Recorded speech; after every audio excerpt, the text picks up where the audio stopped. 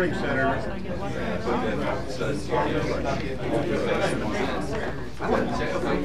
I didn't know we were gonna have these drills. What do you want to do?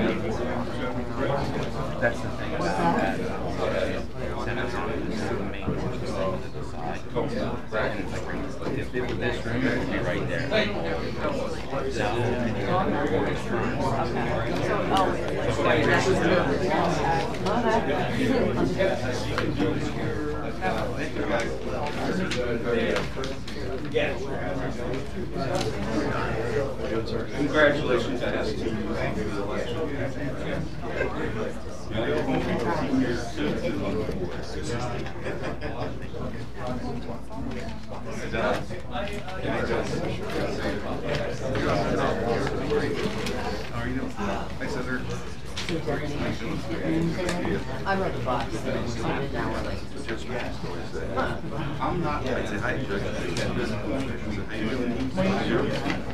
I say hi,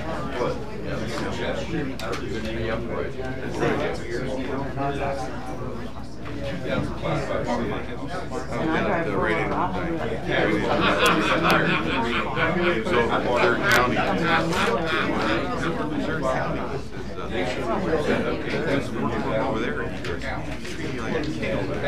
They don't know what this church looks like. Where's that? Oh, they treat me royal over there. He goes, it's wonderful. It's probably not far from the church. And if I think just can I honestly say, oh, boy. In as much as half of Cal seven.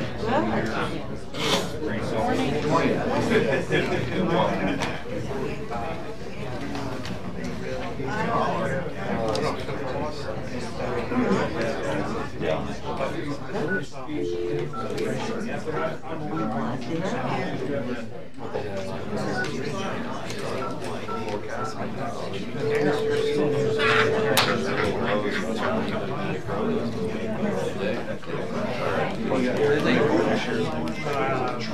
who do we have?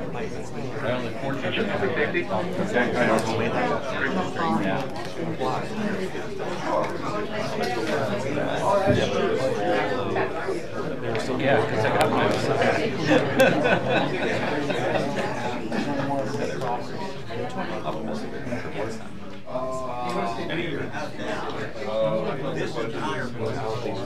City resident.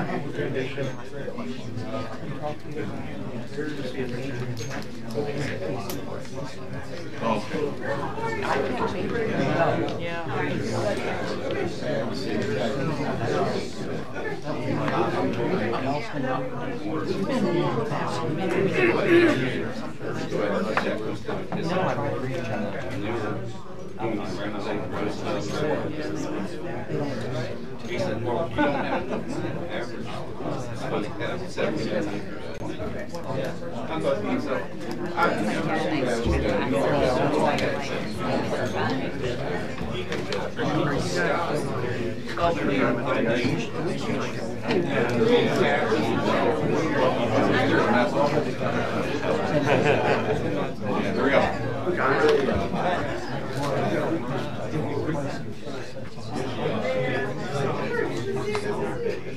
Senator, thank you for coming. This might be my last time here. Yes. How's everybody doing here? I almost worked. But it didn't matter. Hey, Ross, how are you? Good, great to see you.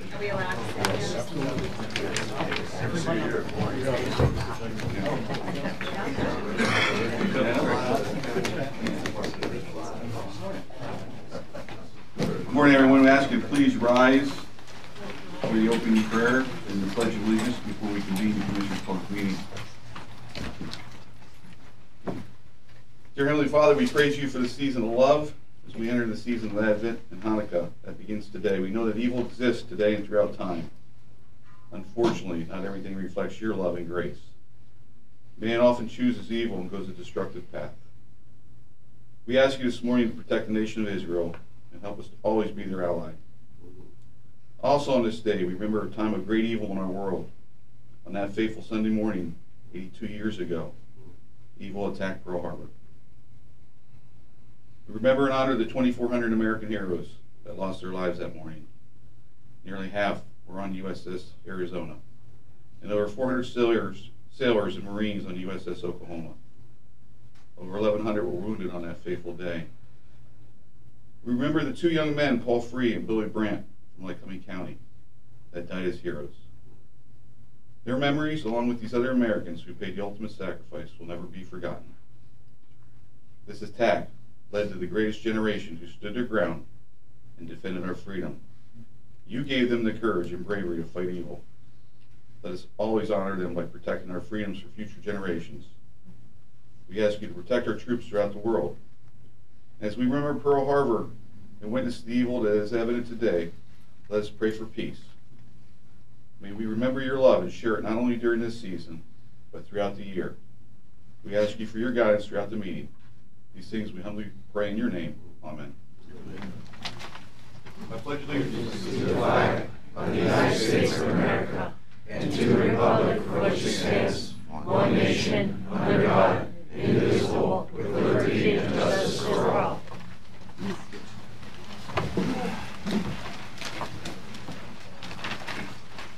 I'd also uh, like to add to his prayer that we pray for the uh, innocent Palestinians as well and their families. Thank you. Commissioner. seeking. Hang on one second. At this time, we'll convene the Commissioners' Public Meeting and ask for approval of minutes, previous minutes of the previous min, minutes of the previous meeting. I'll move to approve. I'll second. All in favor, say aye. Aye. Director. All right, Commissioners, now, seeking uh, your approval to add an informational item, 4.1, Senator uh, Gene Yaw, Historic Preservation. Mr. Chairman, I'll move to add to the agenda the presentation by Senator Yaw. I'll second that motion. All in favor, say aye. Aye. Aye. So carried. Thank you. Do we have public comment on agenda items only at this time? Okay, hearing none, we'll move on to reports.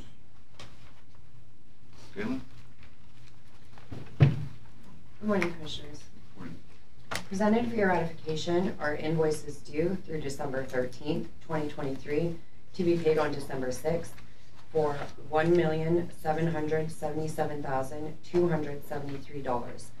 The breakdown is as follows, with 50.13% being funded by the general fund at $890,860.48. Nine point sixteen percent is being funded by ARPA grants at one hundred sixty-two thousand, seven hundred thirty-six dollars and eight cents.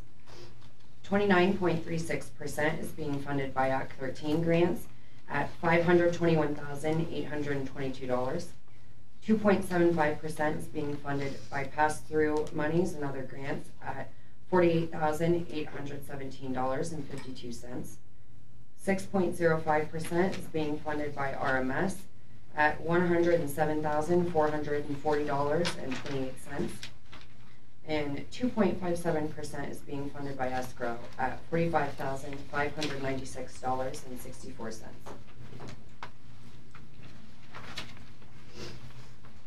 Okay, motion, I'll move to approve. I'll second. comments or questions? I was gonna say, I see the, the largest chunk of our Act thirteen is going out to the Old City project that we had approved previously.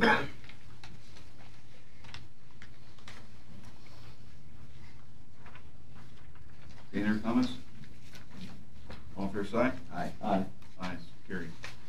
Next, I have presented for your ratification is the polling places pay run to be paid on December sixth, twenty twenty-three for thirty-nine thousand, seven hundred and fifty dollars. This is funded one hundred percent through the general fund.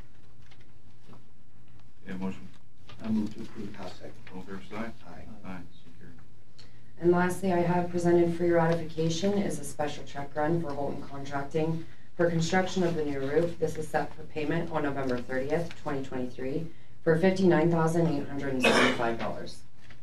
And this is funded one hundred percent through the general fund.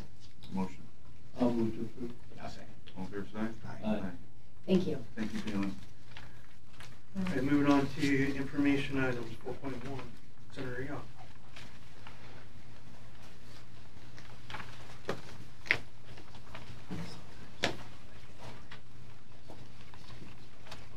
Uh, Thank you. Morning, Commissioners. It's great to be here, and um, I look at uh, the agenda item, a historic presentation, and uh, anymore I get to the point of every time I see historic and it's my name, I think that, oh, okay, they're looking at me to tell what really happened somewhere along the line. Uh, So in keeping, I don't want to violate the agenda, so I will say a couple of things about a couple of historic things. Number one, I, I know that the commissioners recently and, and, and Commissioner Mussare has uh, been very, very active in acquiring the land at the landfill, the thousand acres. I was the county solicitor for a number of years, and according to my rough calculations, it only took thirty years to get that, to make it happen. So congratulations and thank you. I worked on that, I, I mean, twenty-five years ago or thirty years ago. And it finally came to pass. And it is a major accomplishment for the Lycoming County. That's one thing. The other historic note, uh, for those of you who don't know or remember, this used to be a restaurant. I'm not sure how many of you ever remember that, but it was. I see a couple of people are shaking their head. That was the name of it, Shabashton's. Well, in any event. Okay, so I fil- fulfilled the requirement on the agenda. What I'm really here for, uh, and I, I told my staff I really wish I was here for public comment because I wanted to uh, tell uh, Commissioner Mussare and Commissioner Mirabito that I was really tired of them coming to me and always complaining. So I wanted to complain to them during a public session about, uh, you know, my feeling. They always come and they say, we need more money, that's always, you know, that's the first words out of any elected official. Uh, we need more money, uh, unfunded mandate, I don't know what some of the other things are that, you know. And I wanted to say that, look, I want to come and complain because as uh, Commissioner Mirabito said, this is probably maybe his last meeting.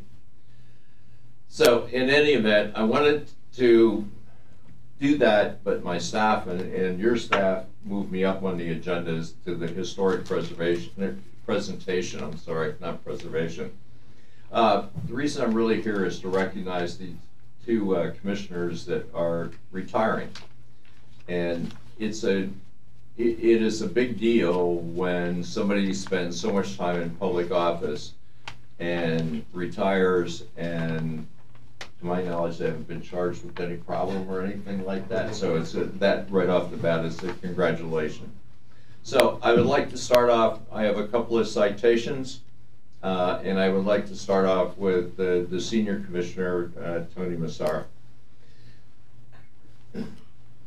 Whereas the Senate of Pennsylvania is always pleased to recognize those individuals who, through their laudable tenure of service, contribute to the meaning in a meaningful way toward the well-being of their communities and this Commonwealth. And whereas Tony R. Mussare uh, is being honored upon his retirement from the Lycoming County Board of Commissioners after a career spanning 36 years of dedicated service. And whereas a graduate of the Williamsport Area Community College, Mr. Mussare has served as Vice President of Armed Services, Inc. since 1987, and he also owns a real estate business with his sons, Anthony and John. A member of the Lycoming County Board of Commissioners since 2012, he currently serves as Vice Chair of the Board.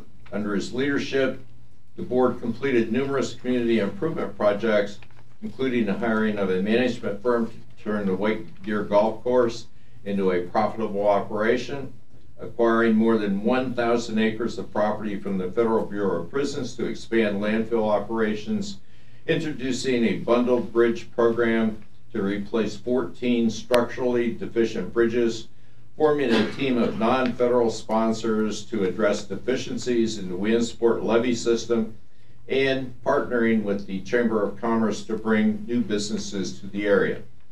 Additionally, Mr. Mussare was instrumental to the establishment of the Lycoming County Partnership Health Center. Throughout his career, he has striven to adhere to the highest standards of service and has rightly earned the respect and admiration of his many friends and colleagues. Now, therefore, the Senate of the Commonwealth of Pennsylvania recognizes Tony R. Mussare for his years of loyalty and service, proudly notes that he has demonstrated extraordinary commitment to the Lycoming County Board of Commissioners, offers best wishes for continued success in the years to come, and directs that a copy of this document sponsored by myself be transmitted to him. I have the formal citation here, and I don't know how you want to do it. You want to do them both, and then we'll, you want to do photo ops or whatever. I'm at your, what do you like to do, Mr. Chairman? Whatever they prefer. Listen, as long as you continue with those comments, you have the hall.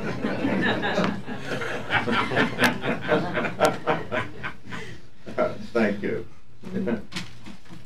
Um, we also have, uh, the other retiring commissioner, uh, Commissioner Mirabito, and, uh, we have a citation for him also, which is as follows.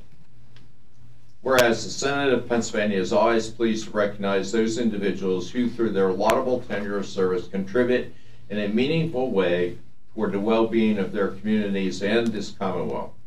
And whereas the Honorable Richard Mirabito, a former member of the House of Representatives of Pennsylvania, is being honored upon his retirement from the Lycoming County Board of Commissioners after a career spanning more than 33 years and whereas a 1974 graduate of North Shore High School, Mr. Mirabito earned a bachelor's degree from Cornell University in 1978 and a Juris Doctorate degree from the Boston College of Law in 1989.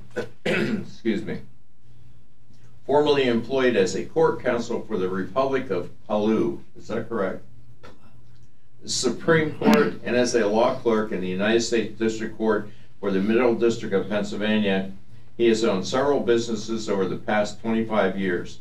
To his great credit, Mr. Mirabito was elected to the House of Representatives of Pennsylvania in 2008 and served the 83rd Legislative District for three consecutive terms. A member of the Lycoming County Board of Commissioners since 2016, he was instrumental in the establishment of the Lycoming County Partnership Health Center with Integrity Health and served on the county's conservation district, library, election, prison, law enforcement, emergency management, and emergency management boards. A co-founder and past president of the Greater Williamsport Landlord Association, Mr. Mirabito is also a member of the Firetree Place Board and St. Boniface uh, Catholic Church, and a life member of the J.V. Brown Library Board. Now therefore, the Senate of the Commonwealth of Pennsylvania recognizes the Honorable Richard Mirabito for his years of loyalty and service and proudly notes that he has demonstrated extraordinary commitment to Lycoming County, offers best wishes for continued success in the years to come, and directs that a copy of this document sponsored by myself be transmitted to him.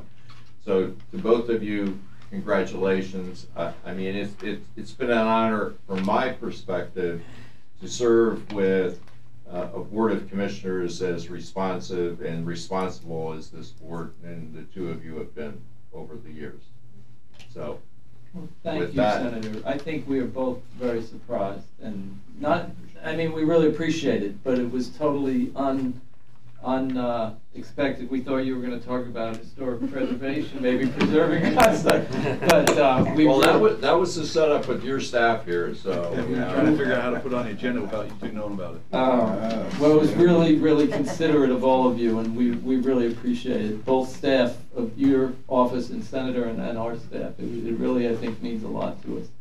Usually, we're on the other end of giving out the citations.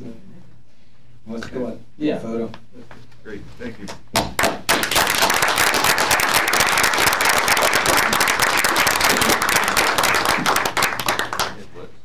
Just.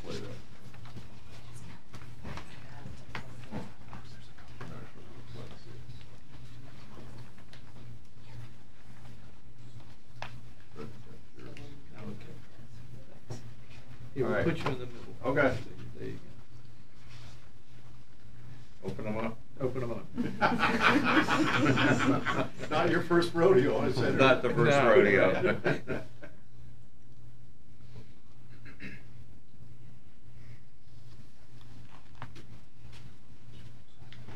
Okay.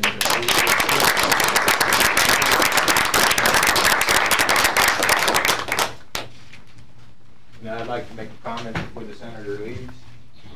Um, Senator Yaw is uh, a pillar of our community. Not only that, he uh, sits in a very important position as an elected official. And uh, we're honored that you are in that position. Uh, He has a tremendous amount of influence for the people of the state and uh, all of his colleagues down in uh, Harrisburg. This man has brought so much to our community, and, and we don't hear that. We, you don't know the endless meetings, whether it's Monday morning or it's Sunday evening. And, you know, he's tied to our staff with his staff. And they work diligently, they work hard, they work endlessly to bring back good ideas and revenue to our communities. Um, we thank you for your dedication. We don't know where you had all the energy to do what you do, but we checked your birth certificate. They made a mistake. You're 20 years younger. So, um, anyway, thank you. Uh, it was No, an it's, honor to it- receive it's it. stuff like this and being able to accomplish something once in a while that, uh makes it all worthwhile. It, it- you know, I, your, your comments are, are un- unnecessary, frankly. I mean, uh, I'm happy to be able to honor you, and as I said, I think I have five commissioners that are retiring in my district. And I'm gonna do a presentation like this to, in every one of the counties, so, uh, just to recognize what the, the people have done. Because it, it, it, it's tough, you guys do this and, look, I sat in that chair up there for a long time, so I know what you go through and know the background. One of those counties, I believe, is Tioga, Tioga County with Erick Coolidge, who has served twenty-eight years as a county commissioner, which is Roger. remarkable. Roger. Yeah, Roger too.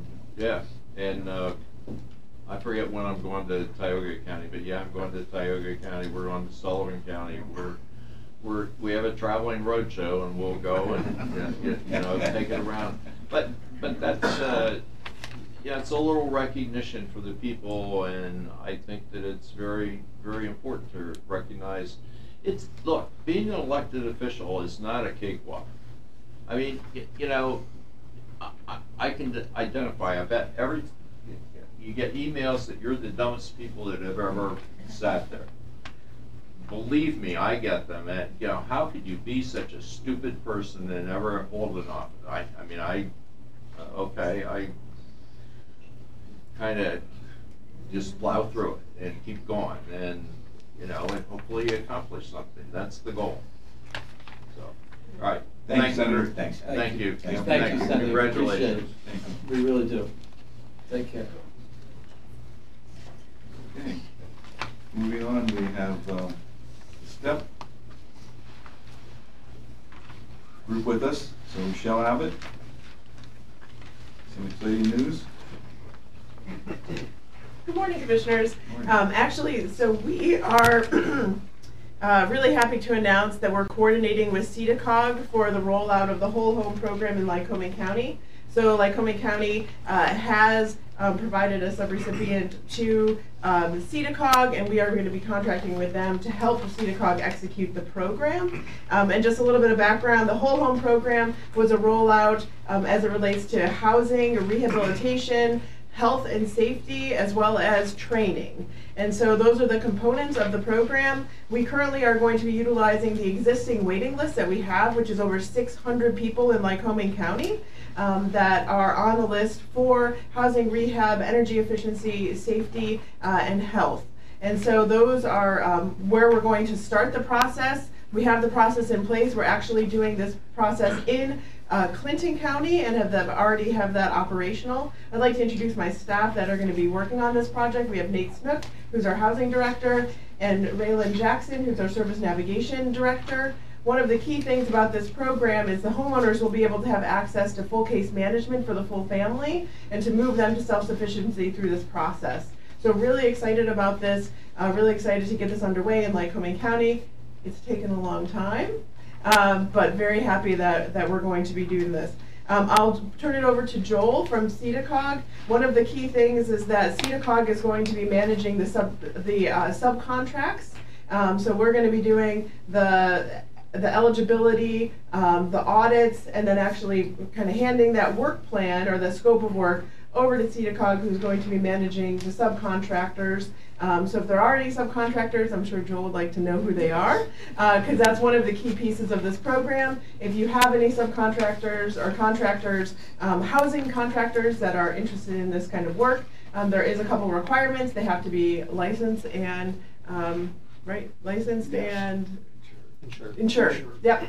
So they have to be licensed and insured. So uh, really excited. I do have a just a little press release that talks about the program. So I'll leave one one each with um, each of your commissioners, and then I'll provide one back to the Sun Gazette. Uh, and yeah, really excited about this this program, and willing to take any questions the commissioners may have before I turn it over to Joel. Yeah, I don't know whether you or Joel, but could you just for the public mention who's eligible, what just rough qualifications, so people who are listening or who read about it can understand whether or not they can access this. Yeah, so the, the funding is um, income based, and so there is an eligibility criteria. Um, the exact number is 80% of area median income, which is, I don't know exactly on the top of my head. Of course, you're going to throw me a. No, no, that's 80% 80% of, area, of the area median income. Household yes. income? Household income, yes. So, so we usually throw around the number of about 54,000 per area Jenny, uh, Jenny, you would. Oh, I don't know. Well, usually fifty-four thousand is the median household income. Yes. Roughly. So eighty percent of that, you're looking at like eight times five is thirty, maybe uh, another two, thirty-two. Eight times five is forty. Eight times five is forty. They sure make- I knew that. It might be, yeah, fifty-two. So you're looking at around forty for, okay, so there are gonna be a lot of people eligible. Yes, and I think the key to uh-huh. this program is, is that we've already had, we have a, a home, an unmet needs waiting list. And so that is about 600 people right now in Lycoming County. Those are individuals that have called or contacted us within the last, I would say, a couple years. We do kind of go through the list to make sure the individuals are still habiting those houses and you know available for that service. So we are going to start at the top of that list, but there is an interest sheet if anybody wants to continue to get on that list. And so if you're unsure if you're already on that list, you know, definitely give us a call. If you want to get on that list, you know, we can definitely get you on that list, but we will be starting at the top of the list and working down based on eligibility. Is there an age requirement? There is no age requirement. No age, okay. And the, the other, Joel, do you mind if I talk about the workforce piece? So the other key component of this, which is really exciting, and I don't think we have anybody here from Penn College, um, is that the Penn College Clean Energy Center uh, is going to be working on a workforce component for this because we all know that it is very challenging to get construction laborers as well as construction supervisors. I know uh, within the field it's very challenging to find individuals who are capable and able to be able to do the work um, such as rehab and construction and those kind of things. So they are going to be doing two cohorts uh, in Lycoming County at their facility, which would be which would include kind of the on the site training in their facilities. They have labs that actually do the work there, and then actually on the job training with actual contractors. The idea was that these cohorts, so there's going to be two done, one in the summer of 2024 and one in the summer of 2025, um, about 10-ish individuals that will get the full training to be able to essentially, after they walk out that door, um, they will be completely employable on any contractor level. The hope is is that through that program, many of them will be uh, become staff of agencies such as ours, agencies such as SEDA-COG, and other construction private construction firms within the community as well. Um, so this is a really exciting kind of uh, best practice, is what the state is looking at it as um, really looking at it as an innovative way to get some individuals, particularly maybe students who are in those construction specialties already in high school, as a scholarship to be able to move them to Penn College, go through this training program, and then really be rapidly employed. So really excited about that piece. So it's a big deal. It's a big deal because it's also the funds for it are coming from from PHARE, the Pennsylvania. No. No. ARPA. ARPA. From ARPA. Yep. Oh, ARPA. Okay. Well, that's real. That's really good because I hope the community understands the significance of it because we have a problem with labor shortage, right? Yes. So this is an opportunity for us to train young people, get them working, as well as keeping people in their homes, both Yes. seniors and uh, and other folks. And I think that the key to this funding is this is the first year this funding is available, with the hope that it'll eventually become a year-round like a, a actual allocation within the budget. Um, so in the future, that will actually uh, help complement the PHARE funding programs and the other housing programs that the commissioners already um, already do. And so this is just an alternative funding source, really kind of focused on um, individuals within Lycoming County who are homeowners, focus on that health and safety. It is not full code compliance, which is different than CDBG, um, but it provides that habitability, energy efficiency, health, and safety. So really excited uh, to be a part of this um, and really appreciate the commissioners and SEDA-COG allowing us to partner. So I'll turn it over to Joel if you, want to. What else can I say? uh, she's pretty much covered everything that we have. I am the SEDA-COG rehab manager, housing rehab manager. Um, we are going to do basically putting the jobs out. Once they create the write-ups, the specs, uh, we will be providing the contractors and doing walkthroughs and awarding to those contractors. Uh, and then when it comes time for somebody to be paid, we will also be doing that. Um, it is for low income, uh, and you know that is a big thing. It's a big problem, not only in Lycoming County but pretty much all over PA. Uh, I work in Lycoming County in South Williamsport and Jersey Shore now at present with our housing rehab program. So we are hoping that we can get contractors around. We have an RFP out and we'll make this work. Did every community get these funds? There was three communities that did not accept the funds from the county level, and those funds were redistributed into the counties that actually asked for the funds. Yeah. And so this is a county allocation that's based on population and square mileage of your your territory. So one of the things that we're fortunate is to have both STEP and, and SEDA-COG to be able to do the coordination. If you're in a county and you don't have those resources, then you're trying to figure out as a county commissioner, how are we going to deal with the day-to-day implementation of that program? And that's, we appreciate that, having that. The, the other thing I should mention is that, that the, there is an interest form on our website, so if you are interested, um, you know, anybody out there, you can do the interest form right on your we our website. You can get on the list that way. Um, there are other housing programs that we are offering, so feel free to check out the website, um, stepcorp.org, if there's interest in housing programs there. I concur with my colleague, uh, Commissioner Mirabito, and uh, we found out this week or the end of last week that uh, my colleague here, Scott Metzger, is going to be the president of, of SEDA-COG. And, and I was gonna announce that under Commissioner comment. I am but- sorry. No, that's okay. We should, we should, no, seriously, this beat is. to the punch. Yeah, it's, I, I had a note here. Um, but no, it's, it's very important, and we congratulate him for that. And it's important for our county because it means that he's gonna be at the head of an organization of nine, Eleven. eleven counties in the region. And it is. So thank you for bringing it up. And it is a big deal. I Yes. mean, they, they obviously have uh, a lot of respect for Commissioner Metzger and his dedication to our community and his input, so thank you.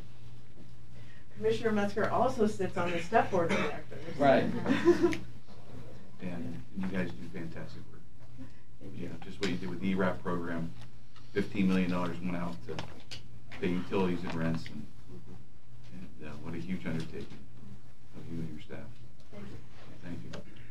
Well, this new program is, that's one of the programs that you're gonna try to fit in with the gentleman down in, uh, Muncy, right? The, the trailer? Oh, no, we have a different program. We've already. Oh, already. you do? Yes, Okay. yes, Aw- Awesome. yeah. The application already went out, I believe so. so we're good. He just needs to send it back. Thanks. Thank you. And someday we may have you back. Okay. Okay, some more exciting news under informational services. We have Indigo Golf here, the Strand. Morning, Commissioners. Good Morning, everyone. Uh, White Deer had a quite tremendous season in 2023, and so I wanted to kind of come up here and just kind of give a little recap of kind of where we've been, as well as uh, kind of this season. But first and foremost, I really need to thank the Commissioners for your dedication to White Deer. Um, that's been instrumental in our financial viability that we've now created for the past uh, for the past quite few seasons. So. 2023 had both record revenue and record bottom line um, to for White Deer this year. We had great rounds, obviously some solid weather throughout the year, um, but overall a great season um, that hit record revenues. This also marks our sixth consecutive season uh, of being fully self-sustaining. Uh, so, which also includes all our self-funded projects, clubhouse, irrigation, driving range, cart paths, maintenance equipment, uh, the new cart fleet that we just got a few years ago. All that obviously has helped to our success um, and keep the golf course viable and keep our patrons coming back year after year. Speaking of the new cart fleet, we just made our third full payment on that, so that was over $55,000 uh, just a few weeks ago. Um, and in 2024, we'll continue to self-fund and take care of the golf course and the improvements that are needed. Lastly, um, with this continued success, um, we're actually, I'm here today to present Lycoming County with a check, kind of as some funds back to the county um, for, you know, helping us obviously to get started. Um, but now going forward, we're able to kick some money back to the county from the profits we're making at the golf course. Um, the golf course come a long way over the last um, eight seasons that we've been involved with it. And we appreciate the support of all our golfers, members, outings, Lycoming County as a whole, and ultimately the commissioners for, for supporting us and, uh, you know, making this a true asset to the county. So, thank you. Thank you, Chris. I have a nice big old check. That's Wow. Wow. for thirty-five thousand back to the county. Do a I'm picture. sure you all have a little bit to say about this. Yeah, thank you guys. Appreciate you. Thank you, Justin. Thank you, guys. Thank you. I read the middle?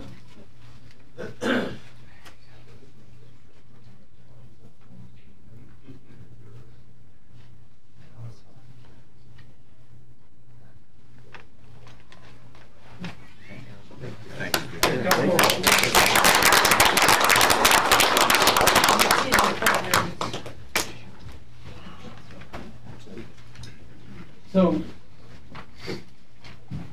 this is a significant event. And I say that because some of you may not golf. I don't golf. But this isn't about golfing. It's about how do we rebuild a community where population has declined over the last 20 years, where people are not moving here. How do we create a community where people of different types come here and want to live here? So it isn't about golf. It's about rebuilding a community. And the important part is that we're trying to rebuild it in a way that is positive on both the revenue side and positive on the community side. So when he says that it's the second year of being able to sustain themselves, we've spent a lot of money over the years, and there were a lot of dedicated people who were trying to deal with the issues at the golf course. But the point is that we're at a place now where the golf course is able to bring in the revenue to pay all the capital improvements it needs to pay, pay for the staff, and we create an asset that when someone is looking for a community to park themselves in, they may decide to come here.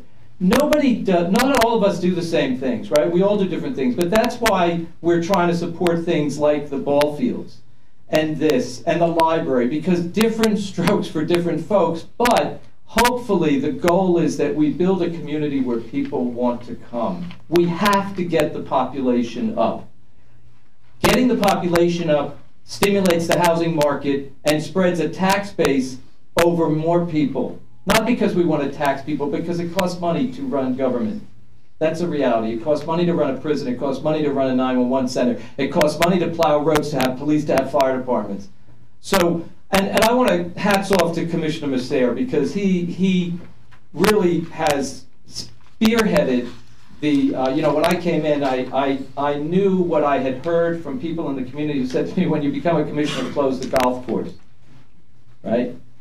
And so, you know, you try as an elected official to examine a problem from all sides. And Commissioner Mussare, uh, you know, is a golfer, so he was intimately knowledgeable, but he also had the commitment and the dedication to say, hey, guys, to Jack McKernan and myself, and then later to Commissioner Metzger, don't, don't, uh, don't close the golf course. We thank Indigo, which, which we did a competitive bid, and Indigo was selected from a competitive bid. And, um, you know, it's, we meet with them once a month, or we used to meet once a month. We meet, yeah, it's about once a month. We get a report, we go down to the course, but uh, I just want the public to try to understand the context, the bigger context in which this is. We are basically taking revenue. Look, the golf course belongs to the people of Lycoming County. So now what we is we have an asset that's actually producing enough revenue to put back money, to pay back money that over the years we've spent. 35,000 this year, next year a little more. Hopefully, we also need people to use the golf course. You know, we need people to use it. And we're trying to expand it to become more of a family oriented place, not just for golfers. And we've had some success with that. So I'll let my colleagues speak, but I just I, I think it's a good thing that we can feel good about. I ditto my colleague's remark. Um, it wasn't easy in the beginning.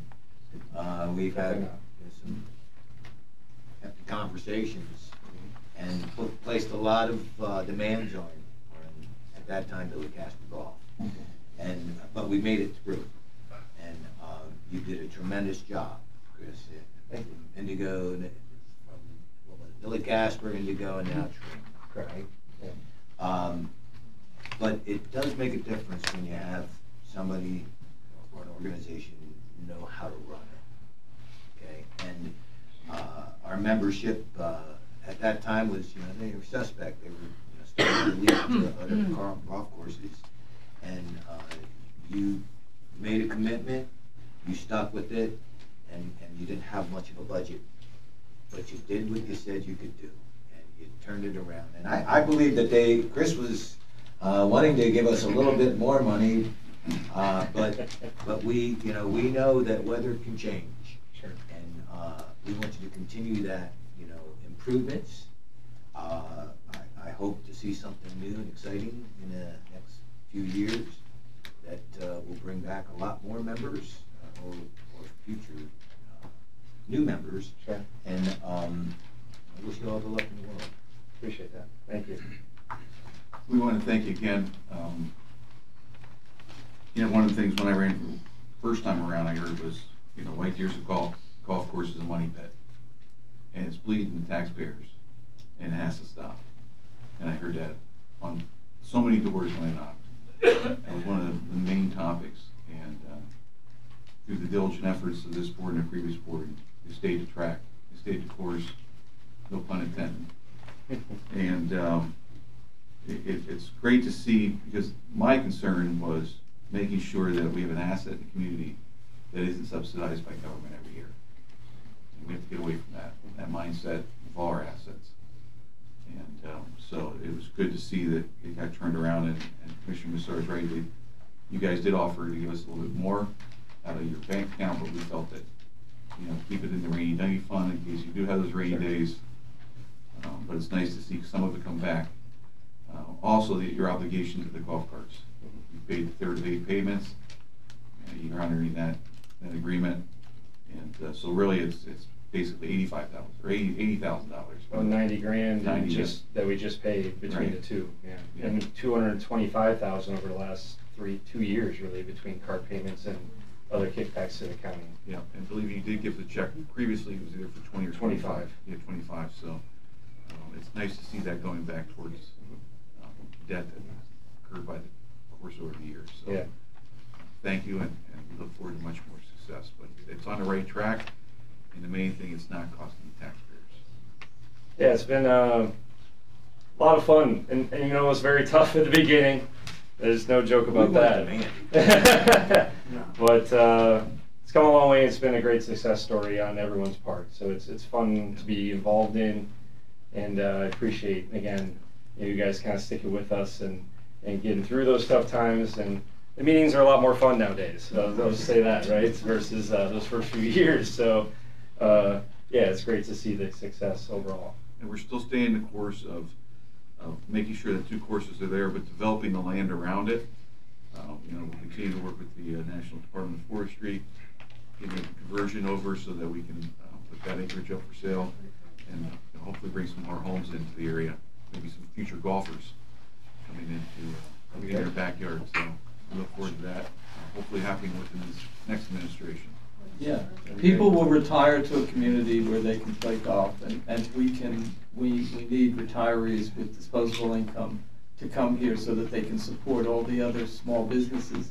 Keep that check, next year you can white out to twenty-three and thirty-five. Make it and, uh, bigger. Yeah. make it bigger. Sounds great. Okay, thank you. Lastly, Commissioner Sarah, Commissioner Rio, congratulations. Been an honor working with you both over the past eight years, so thank you very much. Well, we've enjoyed it, and your staff. Thank You should you. introduce. Thank you. Justin, you want to introduce Justin? yeah.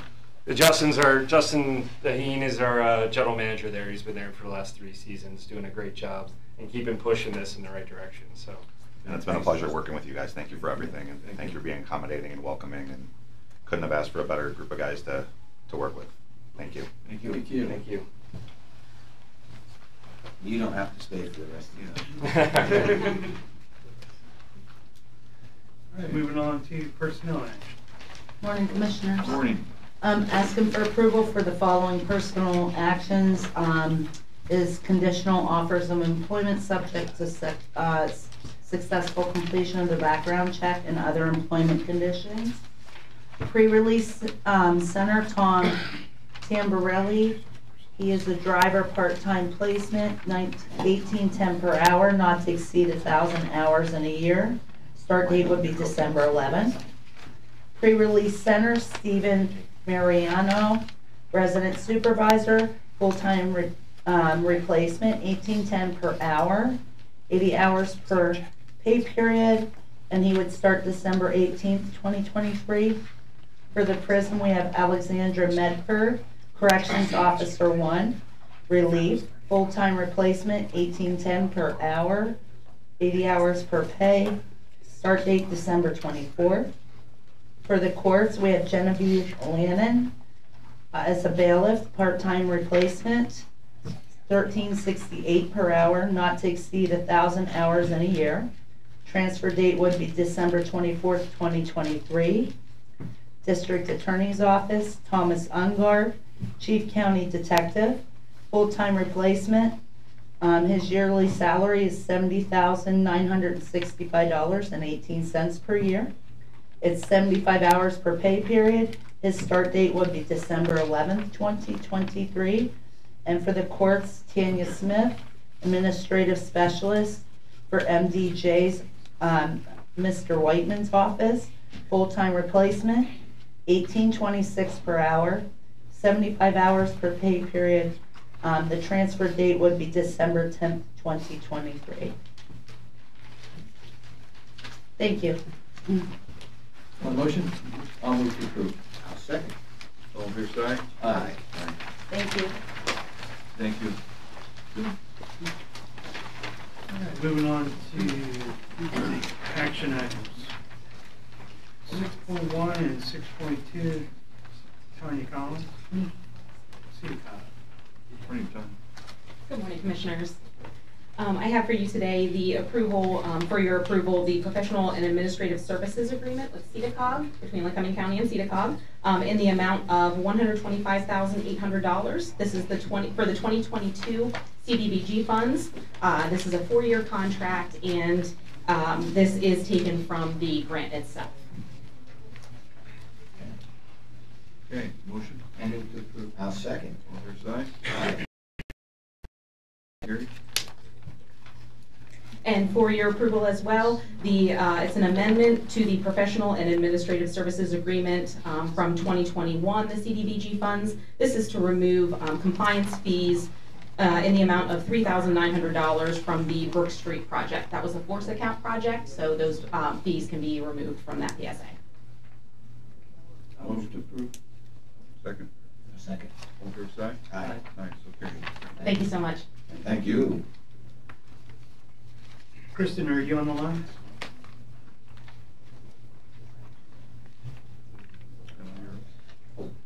She has other items on the 14th. Perhaps we could just combine it and we Okay. can move it to the 14th. Motion to table?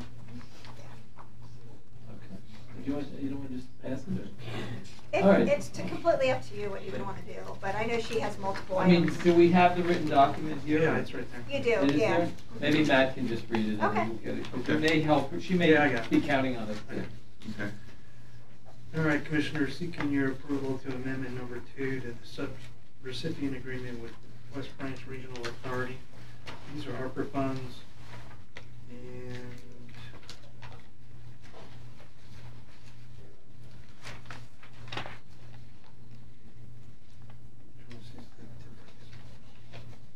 Looks like we're increasing the amount based on the approval we did on September twenty-first. Right. So this must be the written documentation of the action we took on September twenty-first. Correct, yes. Okay. We're adding the uh, trunk. Trunk line, good, yep. We previously approved. I'll move to approve. I'll second. All in favor, say Aye. Aye.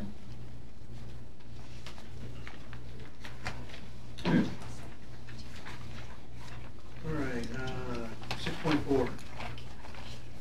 Uh, Commissioner, seeking your approval on the proposal with Arcturus Impact Investors LLC. Twenty twenty-three budgeted funds are available. Um, We're going to make a motion uh, to table this, but we see a lot of people in the uh, audience here that I'm sure want to make a comment. I'm not sure if the the chairman will allow. Yeah, do you want to make it, first of all, um, if you want to make a motion to table it, go ahead and make your motion. And then we'll have to have a second. Well.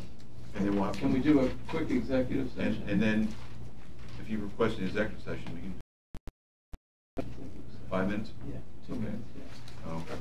To discuss legal matters? Yeah. Yeah, we we can make this pretty quick. Okay, so we'll adjourn at this time for an executive session.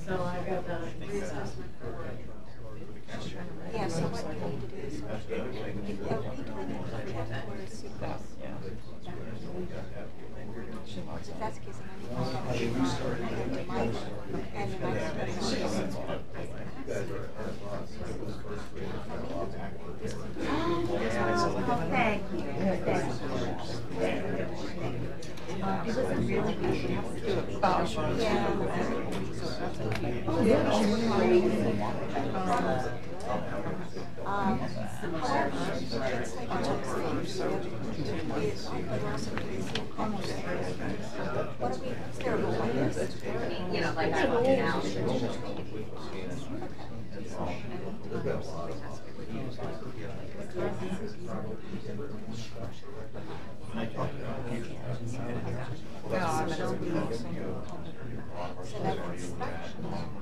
So just, so I think I have that rule, and then it's just part of the right program.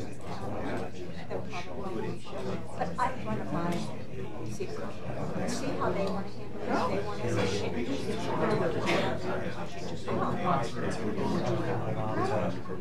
mean, it might be okay, just because my only, yeah, my only concern is that anything in there, I don't want to, you know what I mean, a project, it's just so sticky, I'd rather just keep it. We're not surprised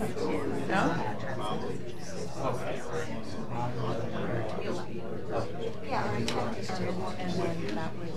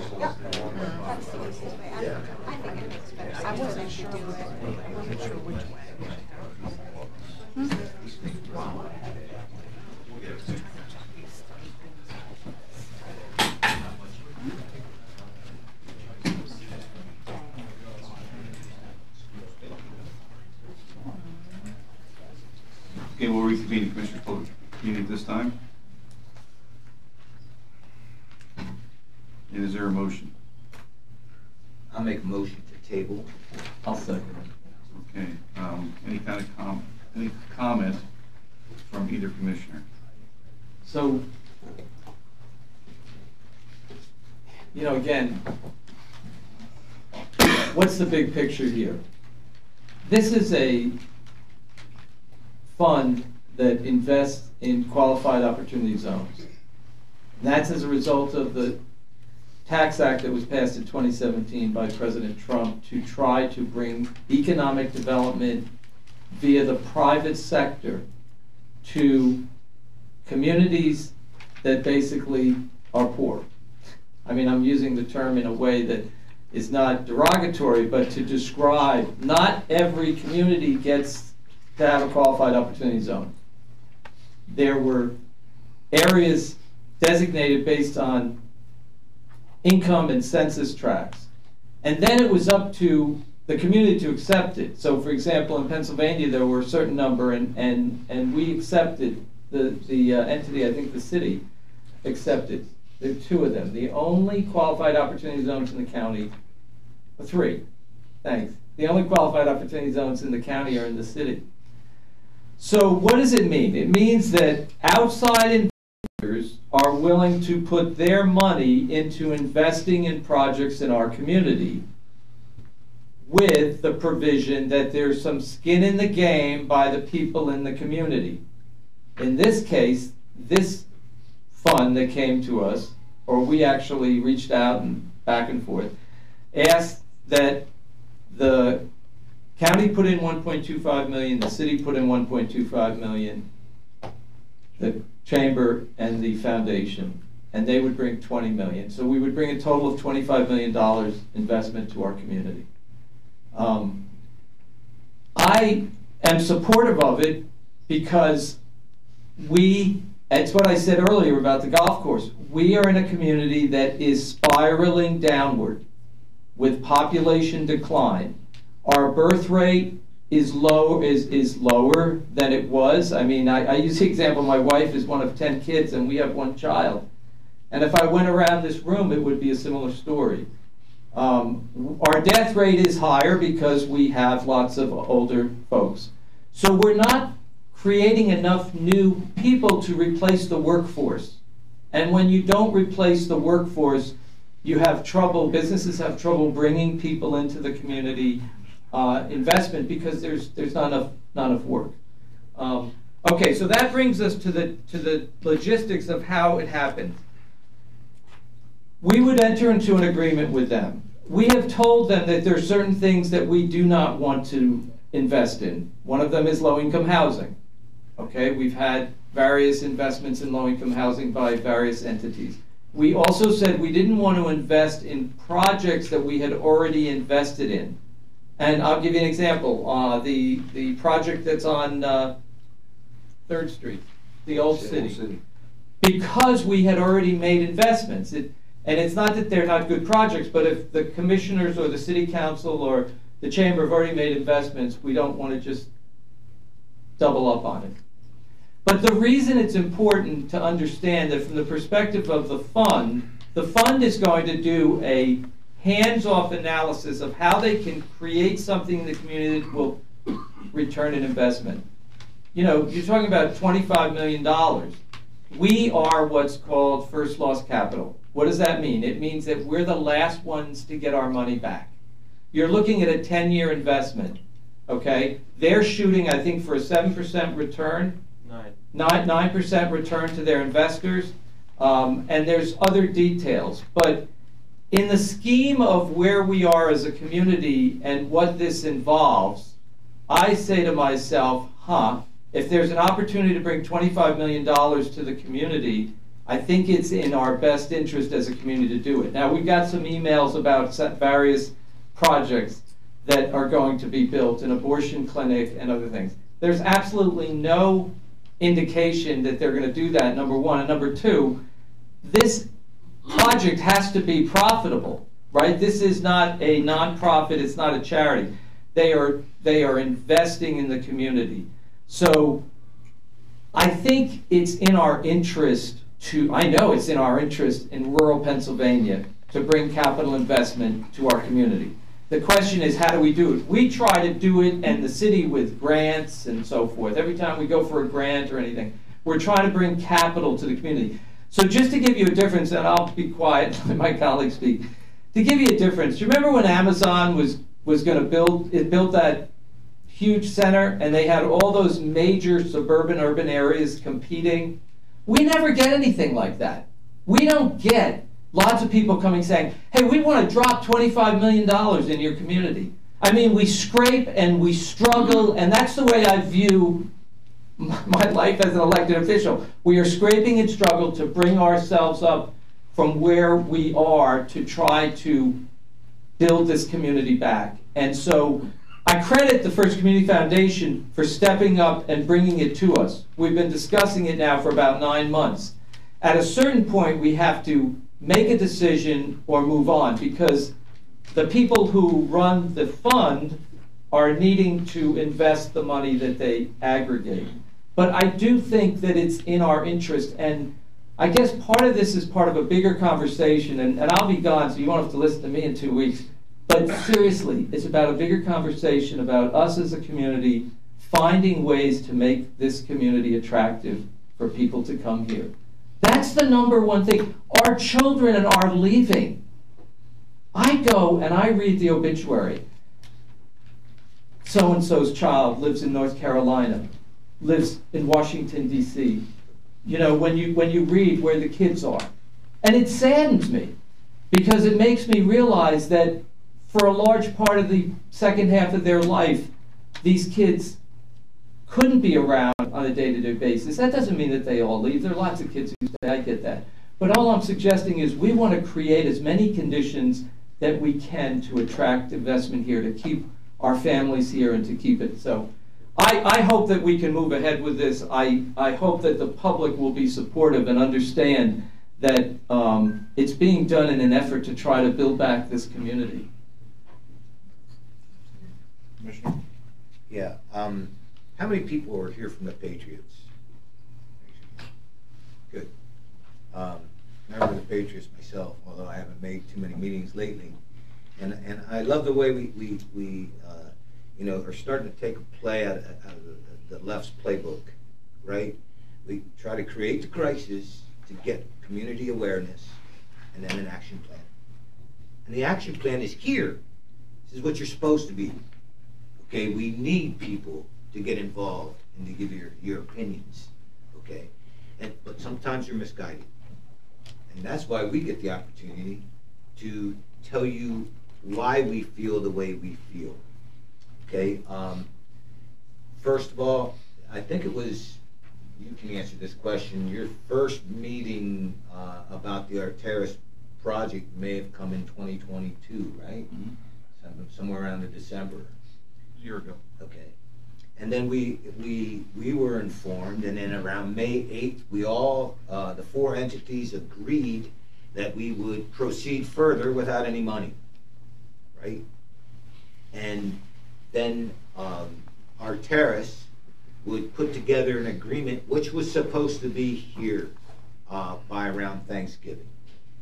Okay, so this isn't something that just shut up. It's not something that, oh, the commissioners are gonna try to sneak it in. That's not how it works. You know, we have to do our due diligence as well. But that agreement didn't come yet, and, and it, it was for uh, reasons that were beyond them. I mean, they, they, they had some issues trying to draft it um, because of time and schedules. They had other commitments. So that's why that's why we're tabling. We don't have an agreement in front of us right now. Okay, um, and then you know, then what happens is they bring that agreement to us, and the four entities are going to get together and and put parameters within that. Say, what do we want to see in our community? What do we want to see? What's going to benefit? And remember, President Trump, you know, started the, the opportunity zones for a reason, right? Third class cities are struggling across this nation. And there's not enough Dan Klingermans, Blaise Alexanders, and you name them to invest to make an impact for our society, for our community. Okay? President Trump realized that when you have over a certain percentage of poverty within your area, it's going to make it very difficult for mayors and city councils to, to prosper.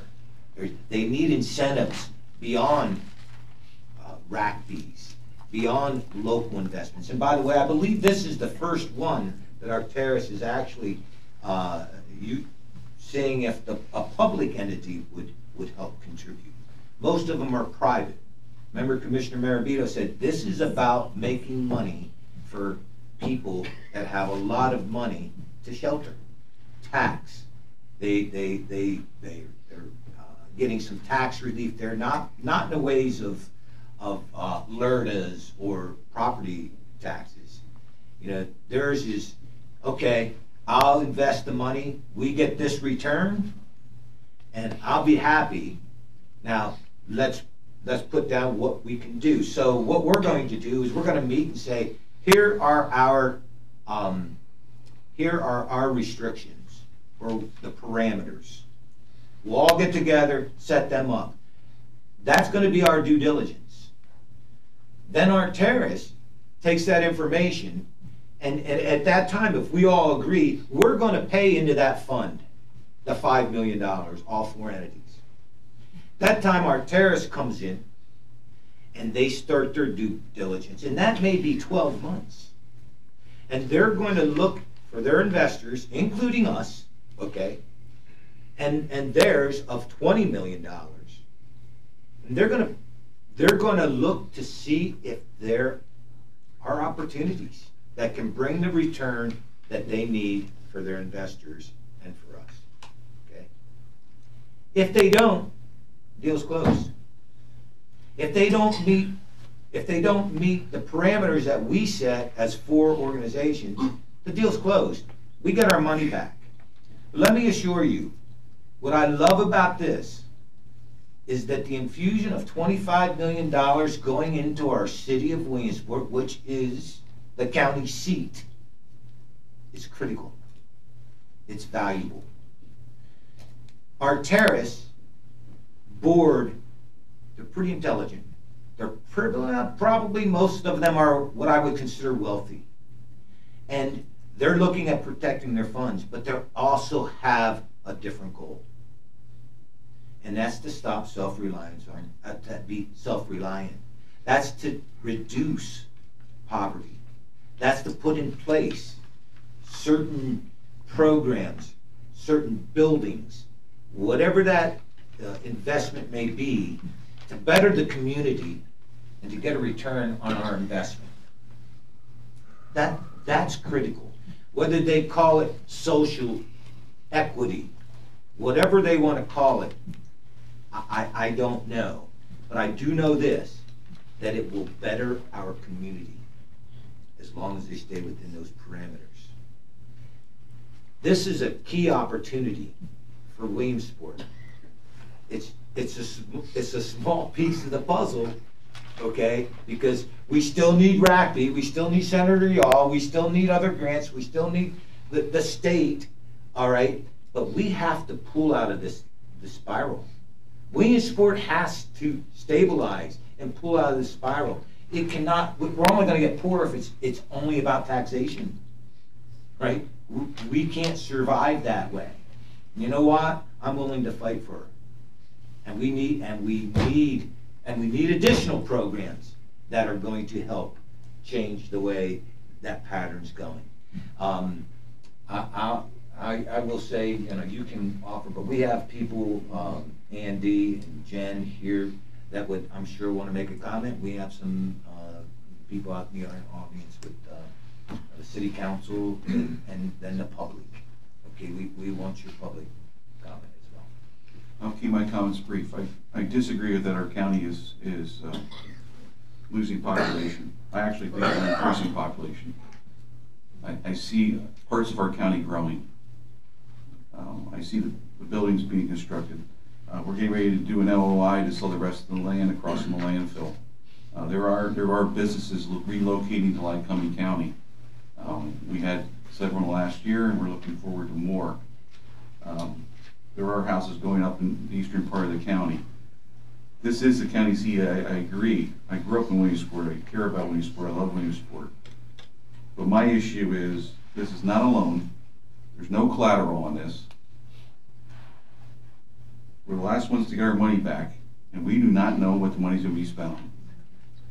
As a businessman, anyone who's a business person would not give $1.25 million of their own money, let alone somebody else's money, to something that they don't know what's going to happen. And that's where I'm hung up on. I understand the, the, uh, the advisement committee, but that's what they're doing. They're just advising. We don't know if they're going to honor what they say. These individuals are very smart people. They're here to make money. That's the reason why they're doing it. They want a return on their money, and they should have a return on their money. They're investors. They're smart people. But it may not be what the city of Williamsport needs and wants. Until I have that guarantee of what it's going to be, I can't go along with this. I have to know what it's going to be um, and if it's going to be in the best interest of the city of Williamsport. Um, that's where I'm at on it. Um, we're responsible for taxpayers' money. They usually do this with private entities, so they're using their own money, investing with other private entities. This is government money. This is taxpayers' money. that we're responsible for. And, and I have to know more. I have to know exactly what they're gonna do before I say yes. So at this time, I'd like to hear from, um, first of all, I'd like to hear from the city of Williamsport. I have a, I have a question for the city of Williamsport.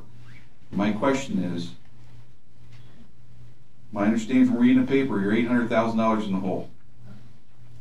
Your pro- The mayor's proposing a one mil tax increase. Where in the world is city of Williamsport gonna come up with one point two five million dollars? And I'd like to have that question answered. I asked that of another council member last week, and they said that's a question that needs to be asked and a question that needs to be answered. And then we'll hear from our Arctaris and other entities. So thank you, gentlemen, for being here. I'm glad you're here, so you can present your point of view and answer that question. So my name is Eric Biter. I've been a city council member now for just about two years. I appreciate that the other members of the community are here as well to hear about this. Uh, as has been said already by two of the commissioners, this is not something that we have just come upon in the past couple of weeks. This is something that has been researched and due diligence has been done on for over a year's time. Uh, a gentleman from FCFP has gone to various cities throughout uh, the eastern seaboard to view what Arctaris has done. Uh, this is something that was presented to the city of Williamsport over four years ago by federal programs, specifically the Department of Ag- Agriculture, that was endorsed by the Chamber of Commerce as well. So there was a meeting at the um, uh, Trade and Transit 2 in the Ross Room. This was all brought up. The city of Erie has seen massive investments, over $80 million to the tune of this. We were fortunate enough to receive $25 million in uh, American Rescue Plan funds. We were able to put that American Rescue Plan funds to great use to benefit our city. However, to fill budget holes, we were only allowed to take $10 million of that 25 million to allocate for unrestricted funding. You are there is a one mil tax increase that's going to be presented in the budget that we will be discussing tonight. And I can assure you that myself and other members on council have got our surgical gloves and scalpels to go ahead and go to that budget so that way we do not have to look at a one mil tax increase. But there are other things that are at stake here. The county has not done a reassessment in over 20 years. We as city council have to continually sit and refund money to businesses because they're reassessing. So there are a number of things at play. I'm not trying to put blame on the commissioners for this because, again, it's been 20 years. It's not been all at their hand. The city itself has had faced issues for multiple years. It's not the current administration's fault. It's not the fault of members of council now. This is one piece of the puzzle that we are looking at to try and solve many, many problems. Another piece, uh, how many residents do we have in the city here? Excellent. Thank you all very much for living in the city of Williamsport. I love it. I lived there almost my whole life. The other piece of the puzzle that we have to look at is our tax structure in general. So property taxes, we're almost at 18 mils in the city. If we were to go through this one mil tax increase, we're at 16.67, something like that. That is exorbitantly high. And the county pointed out, which I thought was a little unfair in their budget, a, they had a dollar bill and it listed how much of your tax dollars go to each entity.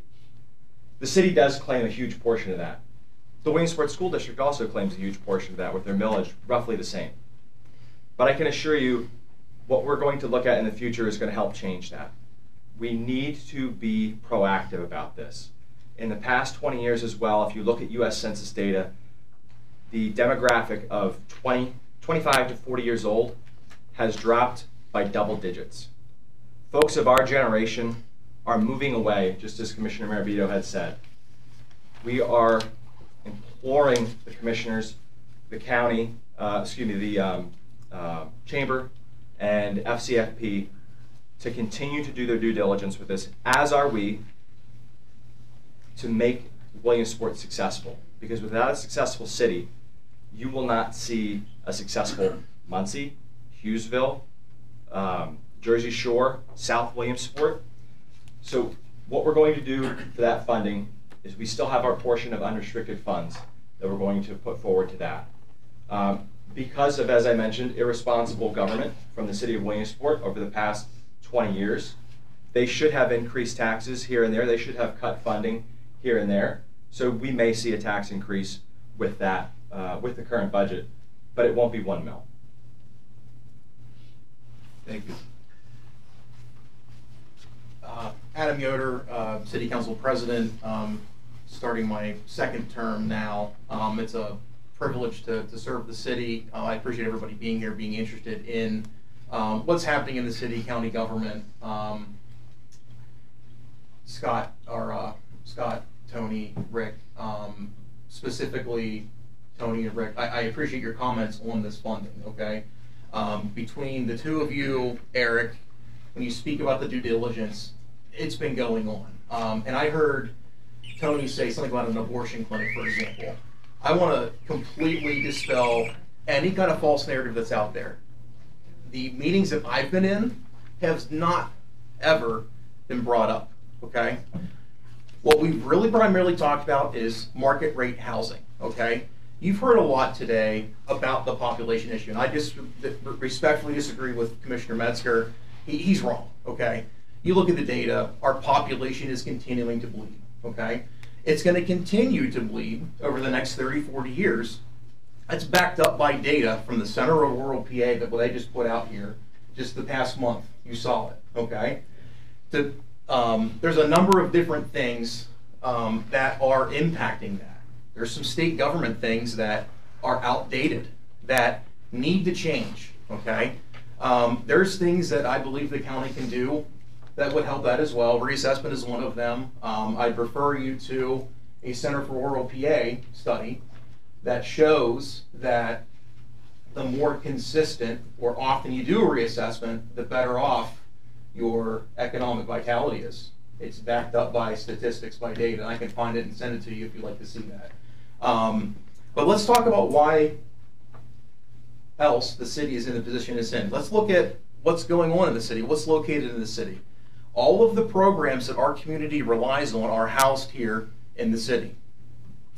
The amount of nonprofits doing good things are housed in the city that take off the tax rolls.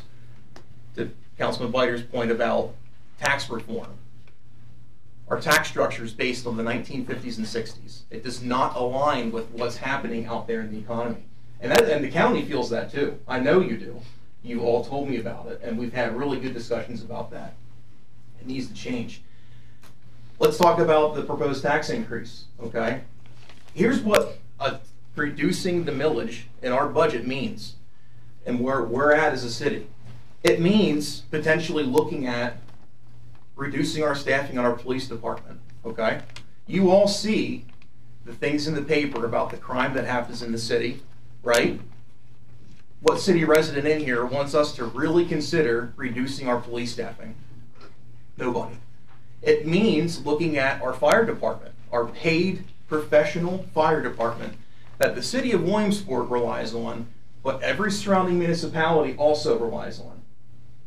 Anybody want us to look at cutting that? No. I don't want my house burning down, right? I want professionals coming to respond whenever my two year old at home is in a precarious situation, okay?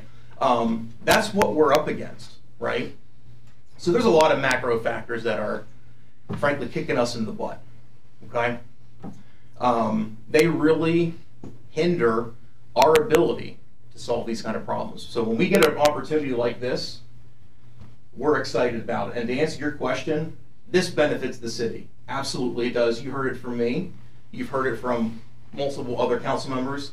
I think you've heard it from the mayor. So this benefits the city. Um, and, and, I'll leave with this. Um, I'll, I'll, commend Jen and First Community. Um, you know, this is this is a this is truly a private-public partnership. Okay, same kind of model we're working on with Old City with with Pine Ridge, who's here. Um, a model that we have used for decades, not only in this county but across the region. What makes this different um, and what frankly excites me about it is the fact that we don't know exactly what they're going to do. We can tell them what we need um, and communicate the needs of this community, which is our job. And we know deeply what the needs of this community are. Okay, they're gonna come up with how best to do it. That's the market working here, right? Um, that is a wonderful, wonderful thing. Um, much different, or a little bit different than what we've done in the past, right?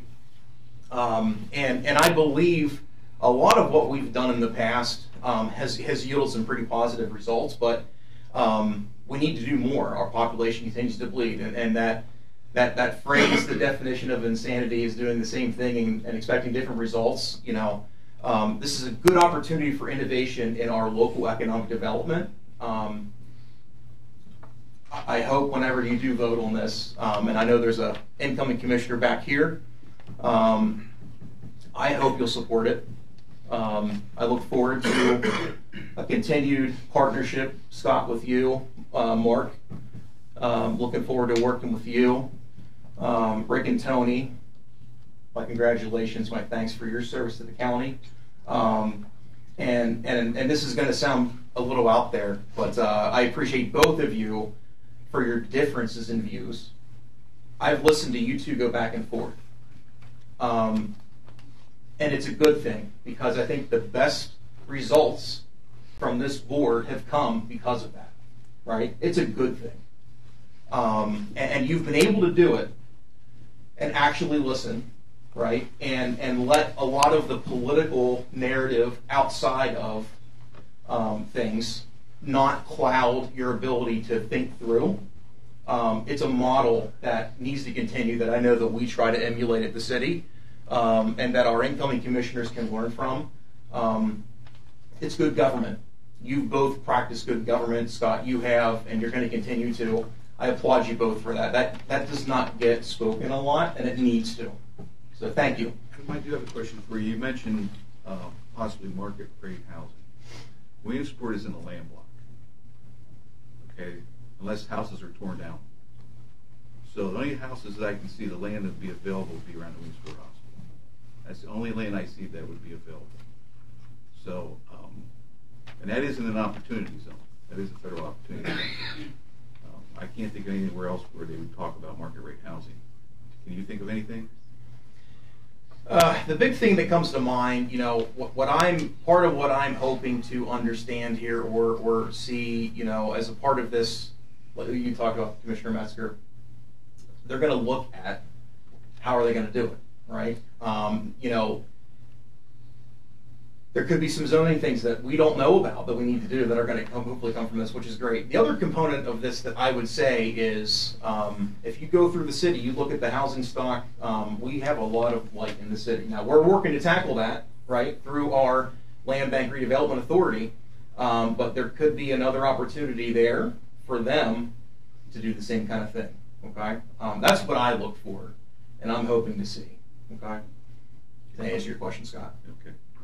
I'm, I'm just gonna add a, a couple things to your comments, is that by leveraging one point two five million dollars, okay, to get a return right away of, uh, twenty million dollars, to fifty million, because in, in, uh, Erie, where they've done this, and I went up there and traveled and talked to some of the business owners and talked to some of the community there downtown.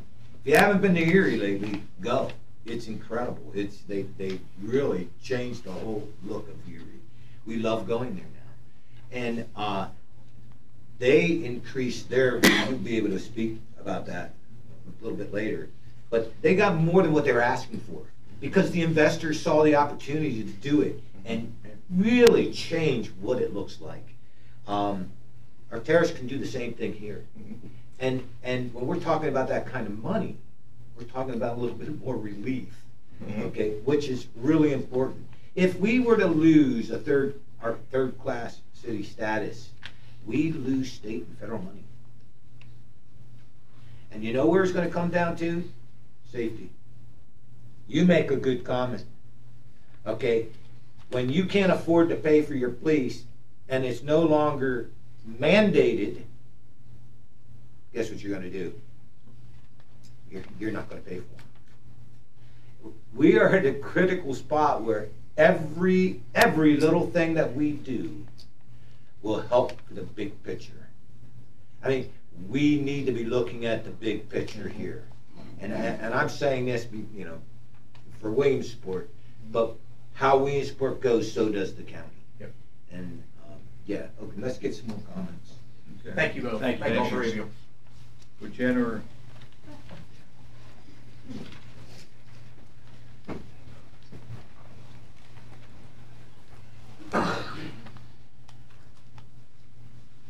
Good morning.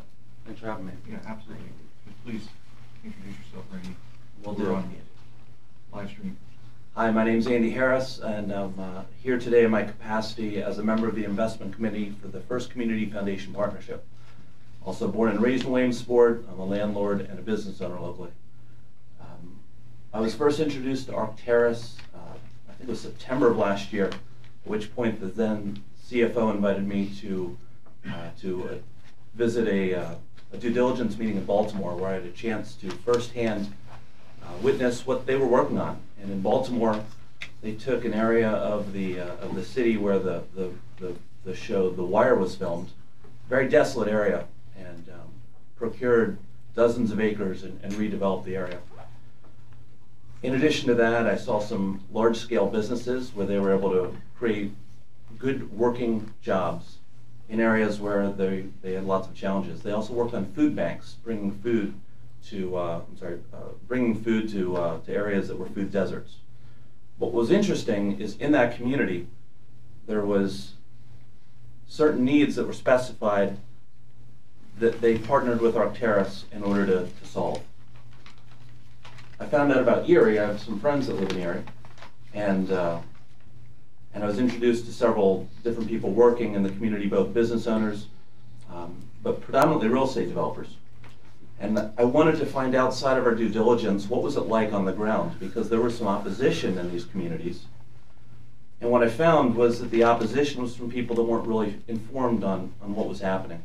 What Arctaris did was they were one tool in a toolkit that was able to help redevelop the city based upon what was what was asked of them.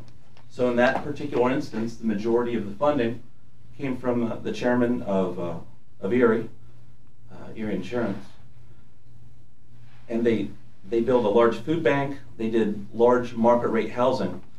There was a need for market rate housing, much like in Williamsport, where we have a lot of low income housing. So again, Arctaris partnered with the local community in order to see what the needs were. They then worked together to collaborate and figure out how could they best improve the community. What's interesting about these impact opportunity zone funds is that the money needs to stay invested for 10 years. So we're not talking about charlatans that are coming to town to do whatever they want because they want to make a quick buck. They're looking to deploy money on a tax advantage basis for people that are looking to shelter their gains.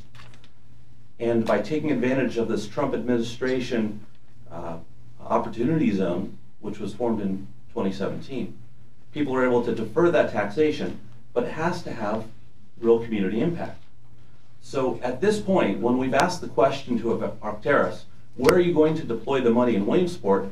They say, we don't know. We need to know what the community needs are. We want to have a local advisory board, which would be populated by members of the four groups that would be funding this. And it would be a collaboration in order to yield good results. I simply bring this up because Commissioner Metzger, you've pointed out several times that you will not deploy money unless you know where it's going. In my role as an investment advisor, we work within mandates of where money should be in invested, and we'll provide parameters by which an investment manager can deploy money. They will then seek opportunities within the lanes that they are given. And I believe at our meeting a month ago in which I met with, with all of you, which I appreciate that time, I believe we went through that ad nauseum, that we were going to be looking to partner based upon an advisory committee and that we would be looking for restrictive endorsements within the agreement to where the money could be put. So this is a collaborative effort. It's something that will be a long-term partnership, and Arctaris and the Opportunity Zone funds should be one arrow in the quiver, but not the entirety of the solution. I'm a 46-year-old business owner. I've got two kids in this community. My parents live here. My in-laws live here. My brother just moved back. I love this community, and I'm doing my best as a business owner, as a landlord, and as a as a family man, specifically in this role, to make this a better place for my children to want to be here in the future. And I think that this is a once in a generation opportunity to bring outside money. I want to do the math as a businessman. Commissioner Metzger, you had said as a businessman, you would never deploy money without knowing where it was going. So I do want to tell you where it will be going from an economic impact. $1.25 million begets five locally. $5 million begets 20. So we've got $25 million worth of equity which can be deployed in our community. That's just the equity. As a businessman, we use equity and leverage. It is expected that there will be somewhere between 60 and 80 million dollars that would actually be committed to our community as this is leveraged up. The other thing is, uh, Arctaris works with other organizations. When they come to a community and bring money, there are other people saying, wow, we've got a vibrant, forward-looking community. How can we hop on? And I expect that there will be other opportunities coming to our community. So I can't tell you where the money would be deployed exactly, other than it would be restricted to the endorsements that we collectively bring to the table. And that that $1.25 million would likely yield 60 to 80 million dollars worth of investment. And as a business person, I'd be very surprised to turn down those opportunities. That's not guaranteed. It's what's happened in the other case studies that we've looked at, and we've done all the due diligence that we can. Are there any questions? No, I, I just want to follow up with a couple of points. I, I think that, the, the, that that's a really important point, that the, that the stimulus of the 25 million is going to bring in additional investment. It, it happens. We, we know it happens. That's one of the reasons we support the Old City project and the other projects because the whether it's the housing starts that we're doing in, in Loyalsock and so forth, we're doing it because we hope that we create the conditions for additional investment. Um, we often don't know what's really being done with the money we allocate. Now, when I say that to the citizens, I want you to understand what that means. We invested in the mall by loaning money to the people who are, who are buying and redeveloping the mall. We have protections on that money, there's no question. Loan. It's, it's a loan, and we have protections and, and liens and so forth. But we also allocate money to different programs, whether it's the Housing Starts program, where people are going to build infrastructure, or whether it's, I'm pointing here because Jerry is here, whether it's the Old City project, and we do due diligence to be sure that the entities are able to do the project. But there's never any, uh, you know, assuredness in life about everything. You know, I'm I'm redoing a building on Third Street and with my own money, and the question is, am I going to be able to rent it to people in this city? Will I be able to get people to actually come into the city and live? And so the bank says that they look at it and they say, well, Rick, you know what? Based on your track record and so forth, we think that you're going to be able to make it happen. We have to take risks if we want to move ahead. We don't do it irresponsibly, and investing $1.25 million in this fund, I don't believe is irresponsible. And then the other thing I just want to say is that there's some business people that, and this has not been mentioned, and we really might as well just get it out on the table. There's some business people who are opposing this behind the scenes. They are people who have long-term established businesses in the community. They're very wealthy. And I think they're afraid that there's going to be competition for employees if we get additional investment. And there's going to be competition that's going to create wages going up. I call that the politics of scarcity, which is that if we all continue to just live in the little bubble and are not afraid to like move out and to say to the folks who are successful, listen, you know, you can't take all the water from the well. You, you have to make room because that has not been spoken. It's the unspoken opposition that's happening in this community by certain successful business people. I like them, they're nice people, but at the end of the day, they have to understand that if we continue to live in an insular, parochial atmosphere, we are not going to move ahead. And we owe it to the young people to make room for them to be able to have a place where they can raise their families. And so I hope that those folks will understand that at the end of the day, I think they're actually going to be better off. Because if this community grows, they're going to be able to even grow their businesses even more. And, uh, you know, I just, I, I say that with all respect to them and not in a derogatory way, but I think that it's been the unspoken gorilla in the room, and we need to really be clear about it. We only grow if we all grow together, and part of that means that we're willing to to take some risk. Listen, the money that the city's putting in is, is money they got from the federal government, which is, means they're leveraging an investment instead of just using it. It's not going to be ARPA. Nope, general fund. It's going to be used general fund. Okay, well, that's your decision. You folks are elected officials. You make it. We, we can use Act 13 funds. Rick, you have anything else? No, I wanted to thank you for all the efforts everybody's put in over the last year. Thank you. Um, Thank you so much for the we- We really appreciate you. Jen? And, and to Commissioner Mirabito's point, it, I want to clarify something. We're doing our due diligence. Absolutely. The majority of those people that he's talking about are in favor of this. Just you know. As long as it's, as long as we, we- we set those parameters of, of what, uh, we're going to allow. So I'm Jennifer Wilson. I'm the president of First Community Foundation Partnership of Pennsylvania. Um, I'm also a resident of Williamsport. Thank you for all the time that we've spent together over almost, I mean, it's been a year probably for us since we were first introduced to the program. I really only wanted to come today because I know at the last meeting there was some discussion about um, Arctaris and maybe not really knowing who they were. And I, I, I feel like you've all addressed that um, adequately. I don't think I can add any more to that. Um, probably no one has met with them on the commissioners more than uh, Commissioner Metzger, um, and maybe Commissioner Mirabito. I think Commissioner Mussare, you're a little later um, in our process, but you've met them from the very beginning, including the managing partner, Jonathan Tower, um, and Patrick Mullen, who is their director of, I think, strategic programs, and, and that's who we've been working with. They've been to our community um, at least two times in person. We've done a number of virtual meetings with them.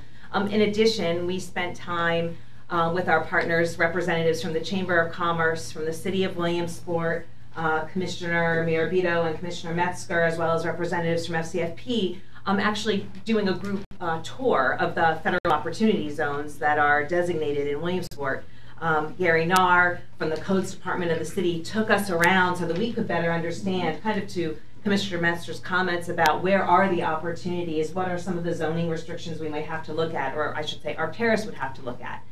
Um, so I just wanted the community to know that this is not something that we have entered into lightly or that we haven't done our homework on. The board at FCFP has 24 uh, volunteers uh, from across our area who are committed to the betterment of not just Williamsport, not just Lycoming County, but to our region.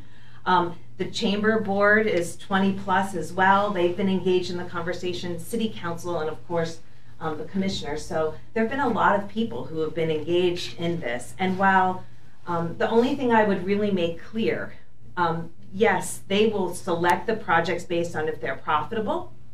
If they don't find projects, then the, the money will be returned.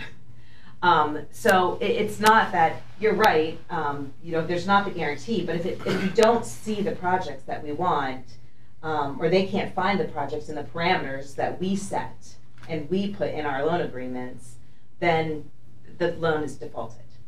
Um, so I wanted to provide some assurance about that as well. Additionally, um, the parameters are exactly that. It'll be very specific about the kinds of programs that they can invest in here um, in the federal opportunity zones. Um, so that's a non-negotiable. And the other thing I would say is you said we're the last to get our money back. Actually, FCFP will be the last to get their money back because FCFP has decided we recognize we're a different entity. You know, we've been here for over 100 years trying to create powerful communities through passionate giving. We leverage philanthropic dollars to do grant making in all sorts of ways to all different kinds of nonprofits and to lots of different municipalities. We've been doing that for over a century. This was an opportunity to create exactly as um, city council members have said, a public-private partnership we think very unique. Um, and we felt it was our job just to bring it to the table so that we could have some great discussions.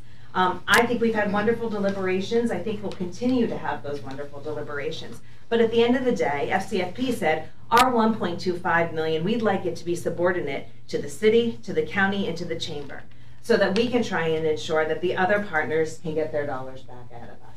So that, that was the only other clarification I wanted to make. We will be last. You, you made a good point that, that I want to clarify. The chamber, the business community is absolutely behind this, as Commissioner Mussare said. The chamber voted 20 to 4, or was it 24 to 4? I wasn't at that meeting, It I'm was in a- In a secret ballot vote, the, the chamber entities voted, I think, 20 to 4 to advance it to the executive committee. Uh, And so the, the majority, the overwhelming majority of the business community is absolutely supportive of this. And, and one other thing I would just clarify, just like FCFP said we would be the last, um, each of the loan documents that we ultimately all look at, um, if there's something in your loan document that isn't in the FCFP loan document, you know, you can make a specific provision in your document. If something is really important to you, um, Commissioner Mirabito, you've talked about, you feel strongly about not committing dollars to the projects where you've already committed dollars. That's something you should put into your specific loan document. Just like FCFP and our specific loan document is saying, we'll be subordinate, we'll be last. We don't expect anybody else to do that. So there is the opportunity for each of us to have the things that are most important to us. And, and I think we said that, not because we don't necessarily, we want to Sure. support them, but we want to have a conversation about it. I it. was just- I was So, using it yeah, as No, an absolutely, no, example. no, it's a good point. I- And I think that obviously, i- once you have a conversation, you find out. We just didn't want to be blindsided. And I want to thank the community, if I could, before I finish, just thank the community um, for your willingness to listen respectfully um, today to this, and um, certainly would be open to any conversation um, or follow-up on behalf of your uh, local community foundation if you have any questions. Thank you, Jen. Do you have any comments from anyone in the public? Okay, um, Mr. Peters, and then we'll just go around the room.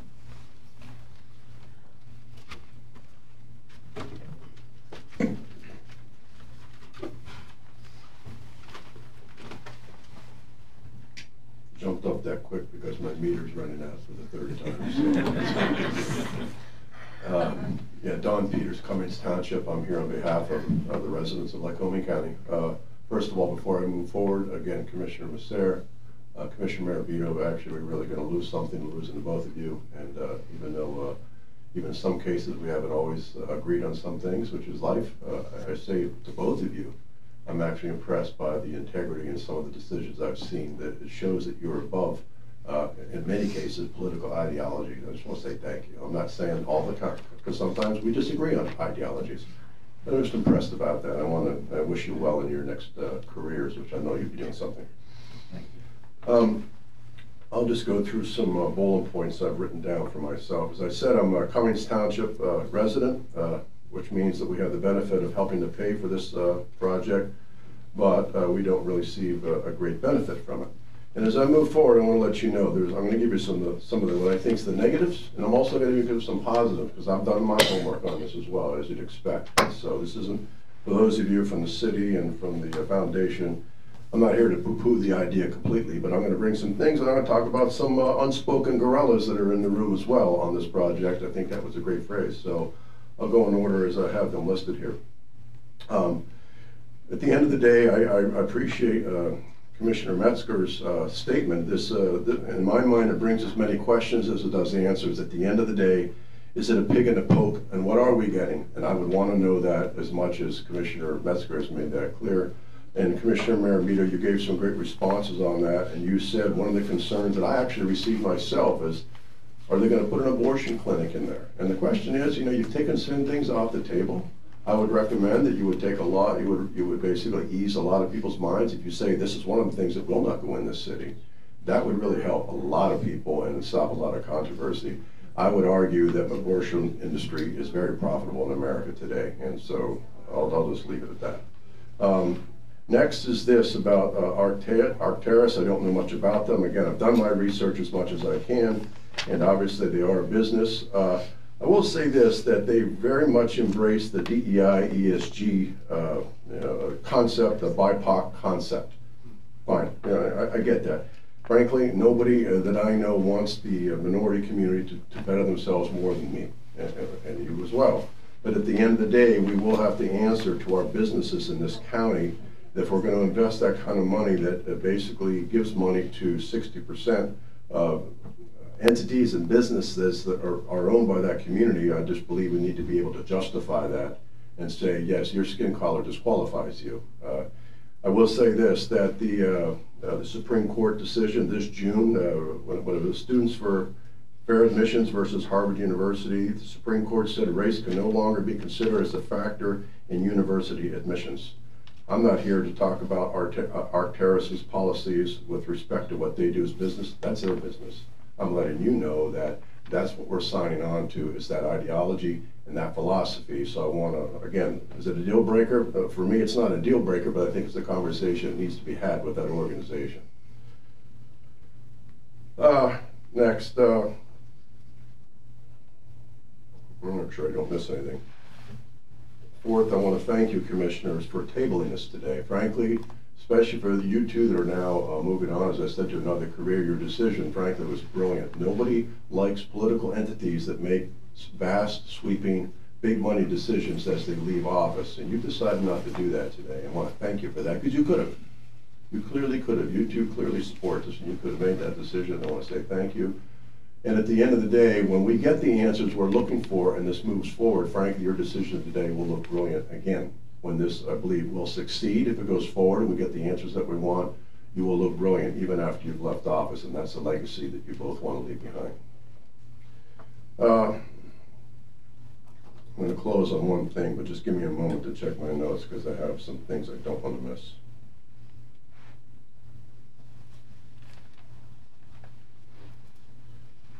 I'll close with this. So, in my former career, I had a coworker. We spent uh, many years together. He's now uh, the uh, chief county detective in Erie, Pennsylvania. And so I communicated with him about this organization as well. And if anybody you expect would might be skeptical of things that could be like this, it'd be somebody in that line of work.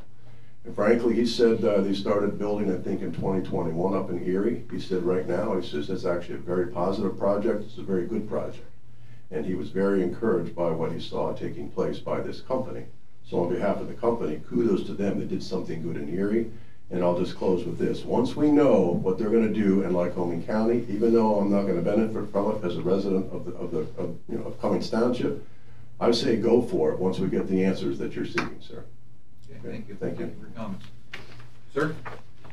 Yes, you.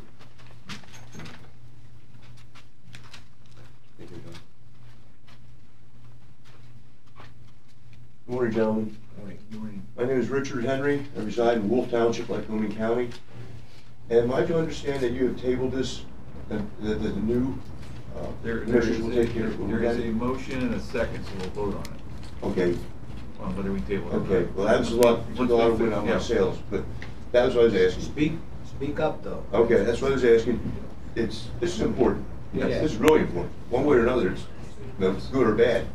We vote, we tabled it today, we, Right. we may, you know, Might bring it up before, I mean, with all respect to Don, we don't know if we get documents or whatever.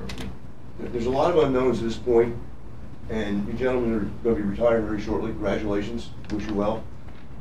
I think it's only right and uh, fair to allow the incoming commissioners to address it, because they're the ones going to have to deal with this. Uh, You as well as the others. So you have a great legacy, and you guys have done well, 33 years, 36 years. If you put your stamp on it and it goes south, it's not, you know, it's going to tarnish your legacy, I'd say. You guys done a great job so far.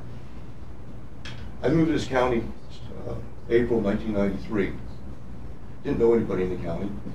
Very quickly found out what the hot topic was at that time. Jesse Bloom taking money, influx, destroying the Williamsport City. Everybody's talking about it. I don't mean to speak ill of the dead. I, you know, I know she passed earlier this year, but I did hear a lot of comments over the years, and every time her name is brought up, it's influx. Negative, all, everything negative. She was a mayor, she might have done some wonderful things, I don't know, I never heard about it. They're overshadowed by that thing, so. I just ask you just let it go table like the incoming commissioner Stanton. Thank you. Thank you for your time. Thank you. Sir? Yes.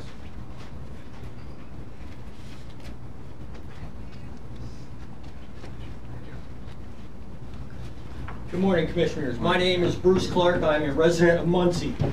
I'm going to read you from Arctaris's website, and And this is where I have some real problems.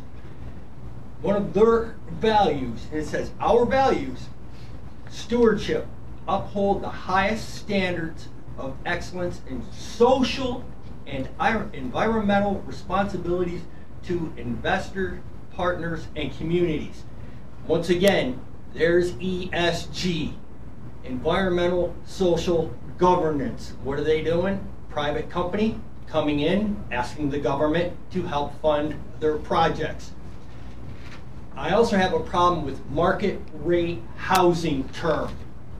As a former U.S. Army recruiter for three years out of Allegheny County, suburb of Pittsburgh, they had Section 8 housing. I was in and out of Section 8 housing throughout those three years. When you bring in Section 8 housing, crime goes up. It's period. It's a fact. Look at look at any database, FBI, whoever you want to look at. I would be very leery to bring up a deal with this company, especially for their term of market rate housing. This is the first time I've ever heard of that term.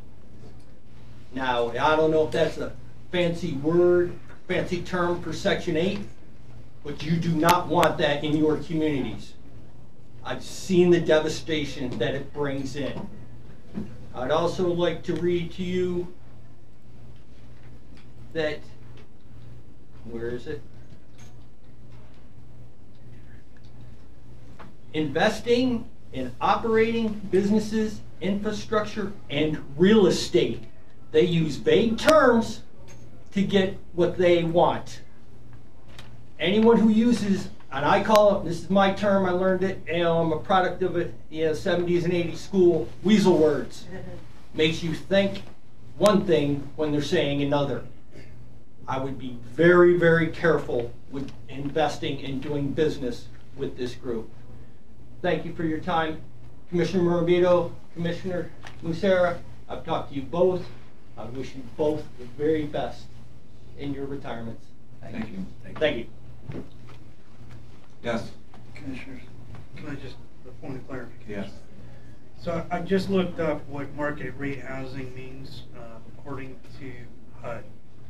Market rate housing consists of non-subsidized properties that are rented or owned by those who pay market rate rents or who paid market rate value to purchase the property. This is in contrast to both affordable housing and subsidized affordable housing, as both these types of housing types confer special benefits benefits upon HUD 221D4 loan borrowers. Okay. Thank you. So, Mr. Clark, it's the opposite of what you're thinking. It's actually getting people who will pay their rent totally themselves, which is good. It's a higher, you know, hopefully the income levels are higher. so But the question has to be an answered. Municipal is in a landlocked. There's not much land developed, with the exception around UPMC and, and maybe a few other areas, unless the blighted properties are torn down. That's a question that has to be answered. Yes. It's a good thing. Yeah. Good morning, Commissioners. I'm also going to talk fast because I also have a problem with the parking meter. Um, And I didn't expect to say anything today because I thought that I would just be coming and observing and supporting the group. But anyway, um, there's one thing that, that I have not heard yet, and that is anyone talking about what these parameters should be.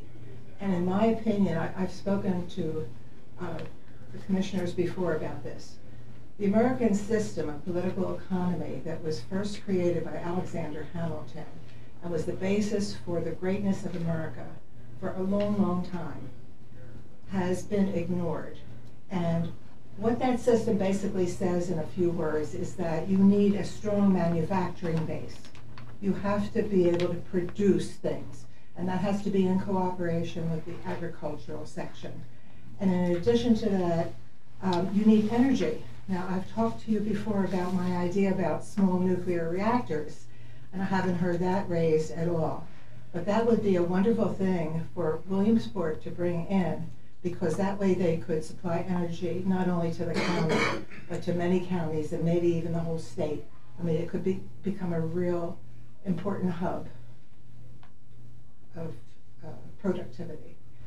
Um, I want to also say that not a good idea for the leave commissioners who are leaving, whom I love, to be doing such a very important job right now. Best to leave it to the incoming commissioners, in my opinion.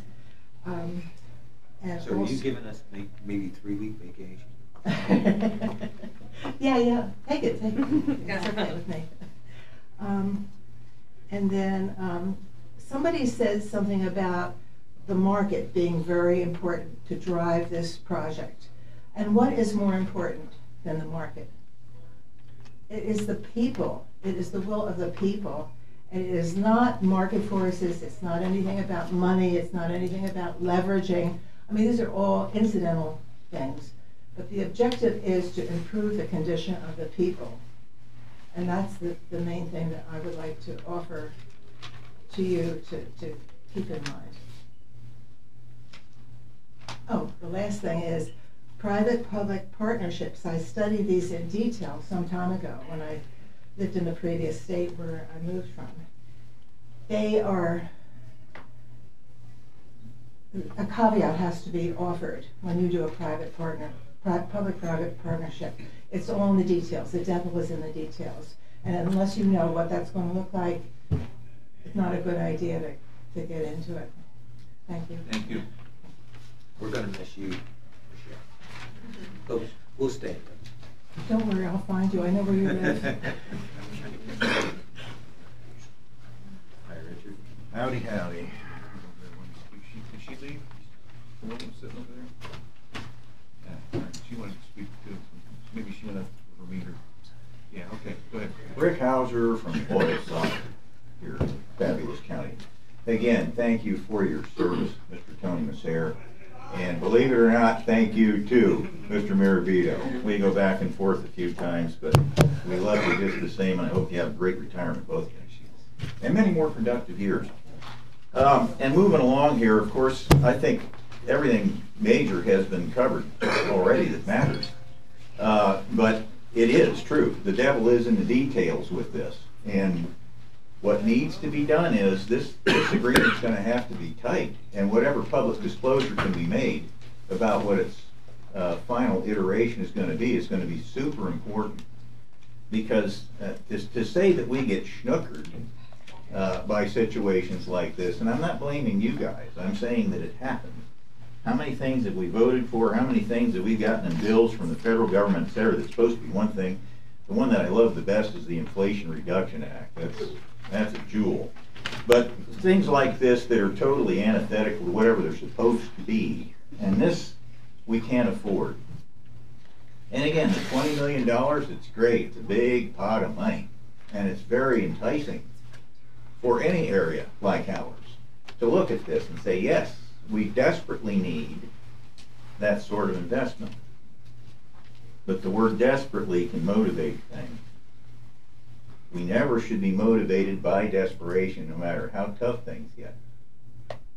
What we need to do has to be honorable, and it has to be forthwith and right for the people of the community in the long term.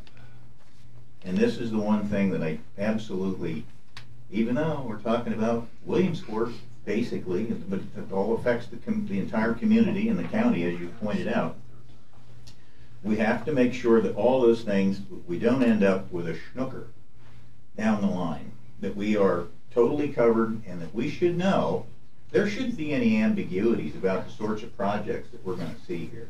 Well, we don't know what they're gonna invest in. Now, I'm not gonna run into the abortion clinic stuff and different things, that black helicopter theories, et cetera.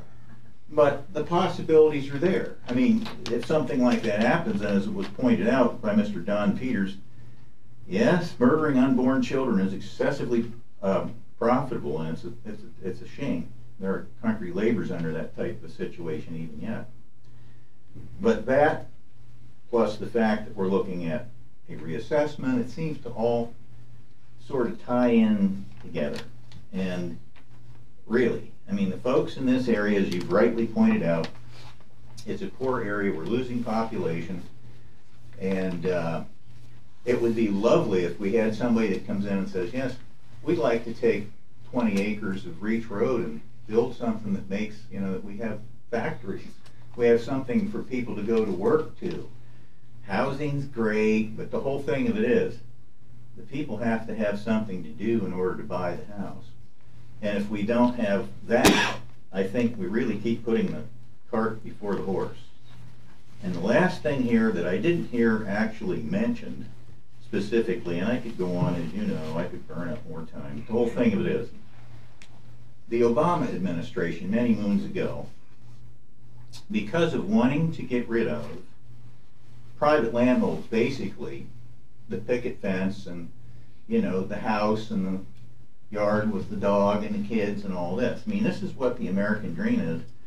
And there is, through the public partner, part, partner court uh, type of uh, arrangements that are going together, uh, with some of these situations where they're actually advocating for destroying your zoning systems, etc., where we can have a housing area where there are homes, uh, basically private, single-family homes, and eventually what they want to do is take those sections out. And again, you, I think you already said that they're not going to do uh, large-scale, uh, low-income housing, apartment houses, et cetera. And that's important.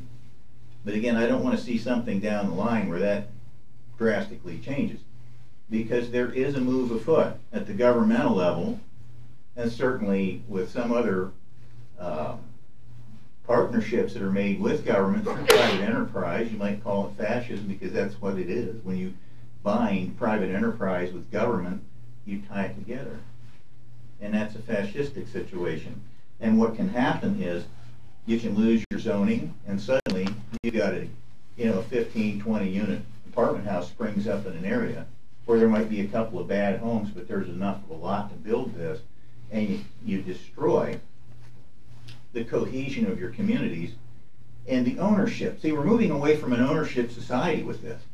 Um, and I'm hoping, I'm not trying to get off, off of a subject here, but I just want to make sure, you know, and I think everybody in here, for their own reasons, want to make sure that whatever happens here, that it passes muster with the people that pay the freight here in the city and in the surrounding communities, that we know for a fact what kind of investments that are going to be made and what those impacts are going to be on each one of us, and that we don't have another situation where we're chasing the ball down the hill and we're never going to catch it, and we find that we've gotten stuck.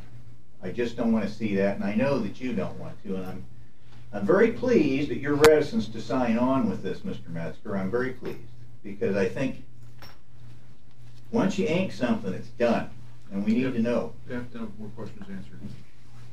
Yes, and I absolutely one thousand percent agree with that.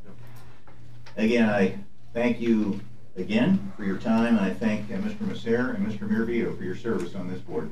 Thank you. Take care and have a great day. Thank you. Thank you, ma'am.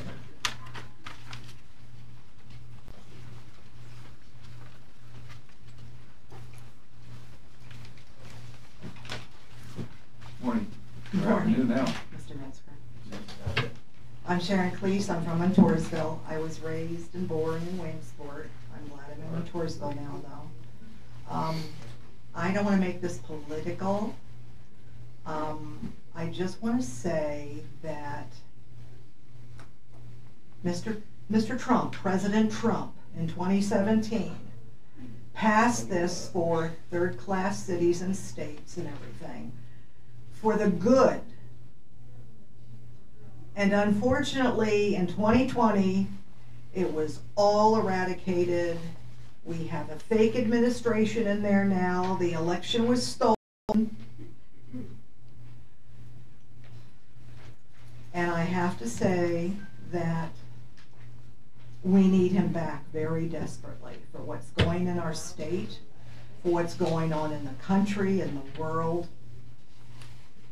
And I know, Mr. Metzger, that you probably cannot give the names of these entities that want to, want this twenty-five million to do in our areas. But we can have something that's going to be destructive with diversity, equity, and inclusion. I voted for Obama because I didn't know the whole story. And Obama basically was never vetted. He ran on fundamentally changing the United States of America. But I think this change has been going on since the assassination of JFK. And we're just waking up to everything is radical now. But it's so important that we know that Satan is the God of this world. We see the evil happening in our state and in our country and in the world.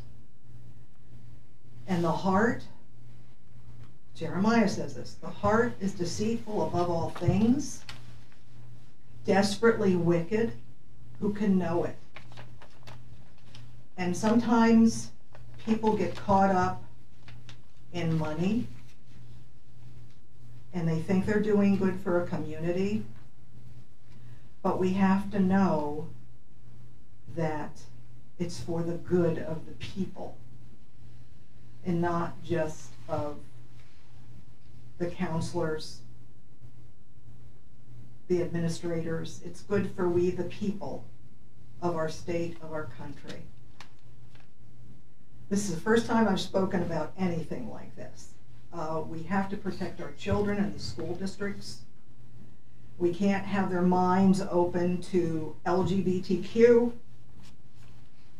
sexualizing our children, and we have the right people in the school boards, hopefully.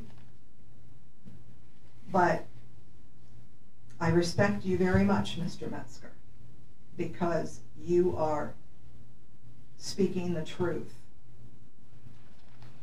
And we need more people like that and not just going along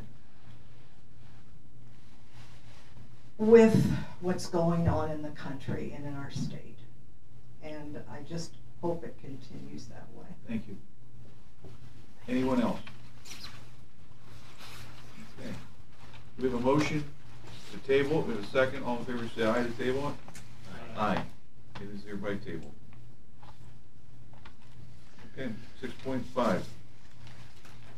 Uh, all right.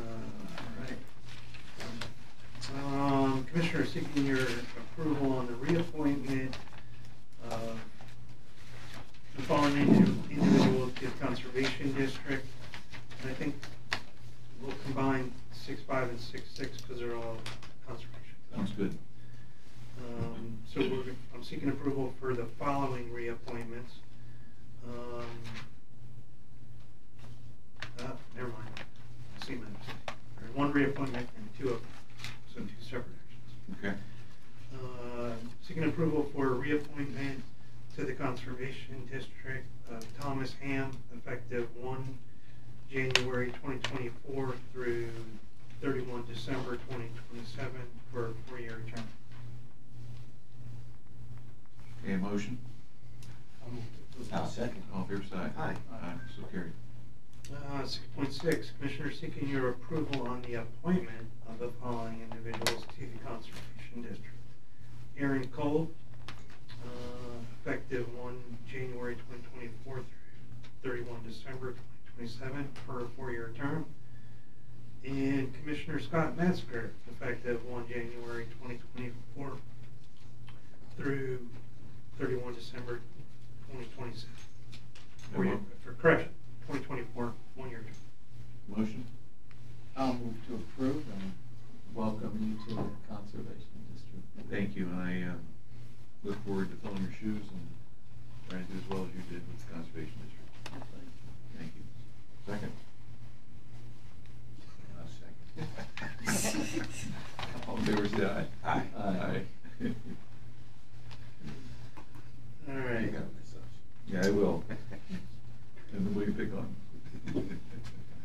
Commissioner seeking uh, your approval on the award of the continuing adult probation and parole grant funds with PCCD or more formally the Pennsylvania uh, Commission on Crime and Delinquency in the amount of one hundred sixty-one thousand five hundred and ninety dollars.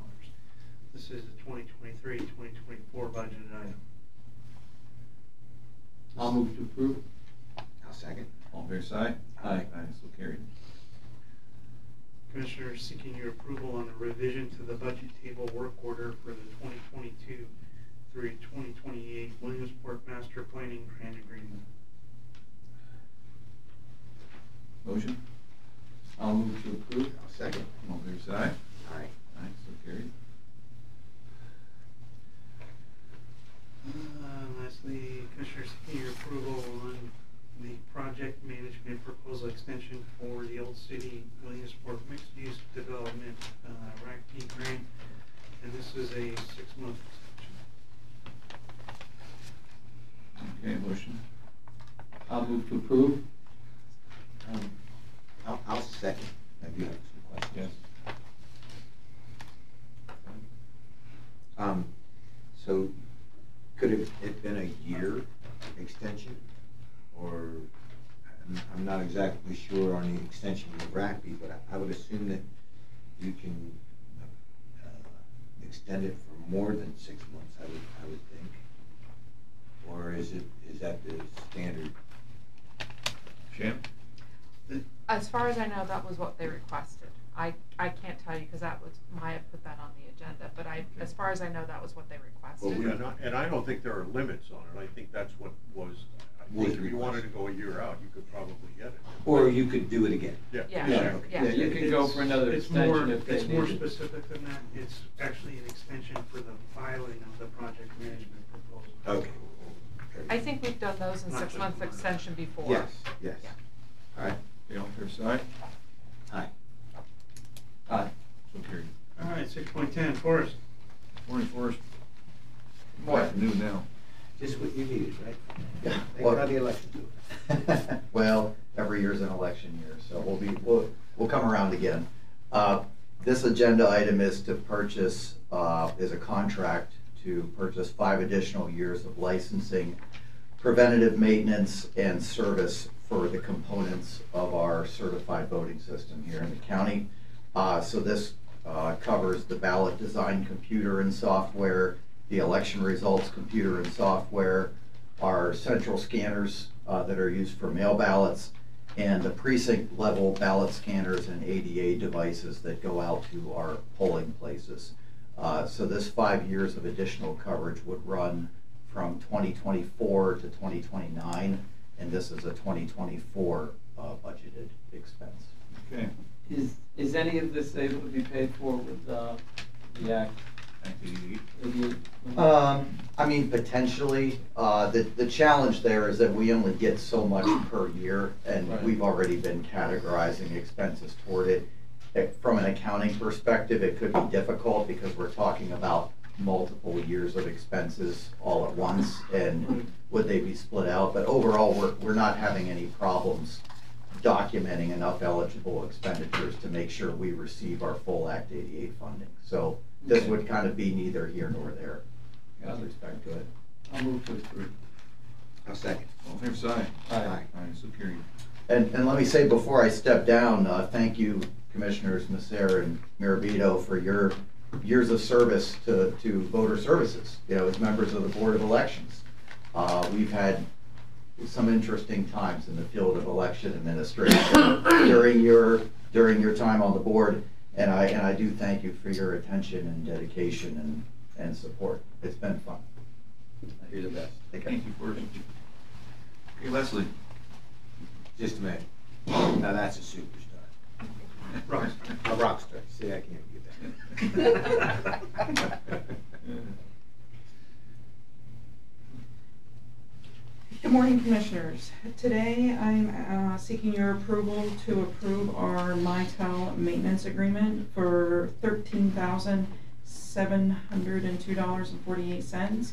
This is just a support agreement for all of our phone systems throughout Lycoming County, Okay, this is twenty twenty-four budget item. twenty twenty-four budget. Yep, a motion? I'll move to approve. I'll second. All fair side? Aye. Aye, so carried.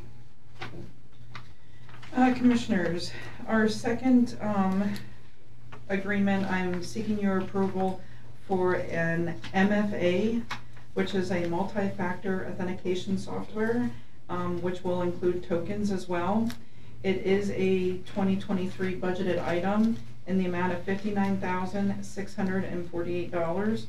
This, um, this software purchase will allow us to carry a larger cyber liability insurance policy. Um, we would be able to go from one million to two million, I believe, Matt. Or maybe more importantly, it doesn't, it, it maintains the two million and doesn't drop us down to a million income. Motion? I'll move to approve. I'll second. All in favor, say aye. Aye. Aye, so carried. Thank you. Thank you, Leslie. Okay, Hutch? Hey, good afternoon. Seeking your approval of the appointment of Stacy Folk as the Lycoming County Emergency Management Coordinator. Um, she's already been hired into the position. This is the formal approval, so it can be sent to the governor's office for signature. Okay, motion? I'll move to approve. Second. All in favor, say aye. Aye. Aye, so carried. Thank you, Hutch. Thank you, gentlemen. Uh, Commissioners, seeking your approval on the agreement with George Junior Republic, uh, in Pennsylvania. This is a twenty twenty-three through twenty twenty-four budget item for JPO. Um, again, you guys should be familiar with George Junior- just another facility that we have a contract with in the event we need to provide services to, uh, juveniles. Again, it's a uh, facility, that's actually located in Grove City, which is about a four, four and a half hour drive from here. Uh, almost- on, almost the state of Ohio, so, uh, again, travel, the traveling that is required from our officers going back and forth to place juveniles is, is a, uh, something that we have to look at in the future and hopefully find something closer. Every time I, I read the George Junior Republic, I think of Curious George and the books. I know it sounds crazy, but for some reason it's books I used to read my kid. It's in my head. I'll move to approve George Junior. Okay, I'm glad you were curious enough to make a motion. now that was good. Second, all in favor, say aye. Aye. That was quick. That was. That was you got your Seinfeld uh, days are paying off. Six fifteen and sixteen, Malik. Good afternoon. Seeking your approval for the amendment to the wayfinding plan grant agreement with DCNR. This is a no-cost, one-time extension for the contract to extend to December twenty twenty-four. Okay, motion? I'll move to approve. I'll second. All in favor, aye. Aye. Aye. So carried. Seeking your approval for the agreement with the Ridge at Mill Creek. This is a 23-24 budgeted item. This is for their Housing Starts Initiative project. So for the construction of infrastructure for the High Hill property near the county farm. Okay, and motion? I'll move to approve. I'll second. Second, comments? Yes. Yes. Yeah. I- go- Um, This, Go ahead. no, no, go ahead. I'd say- No, you. Well, One of you go?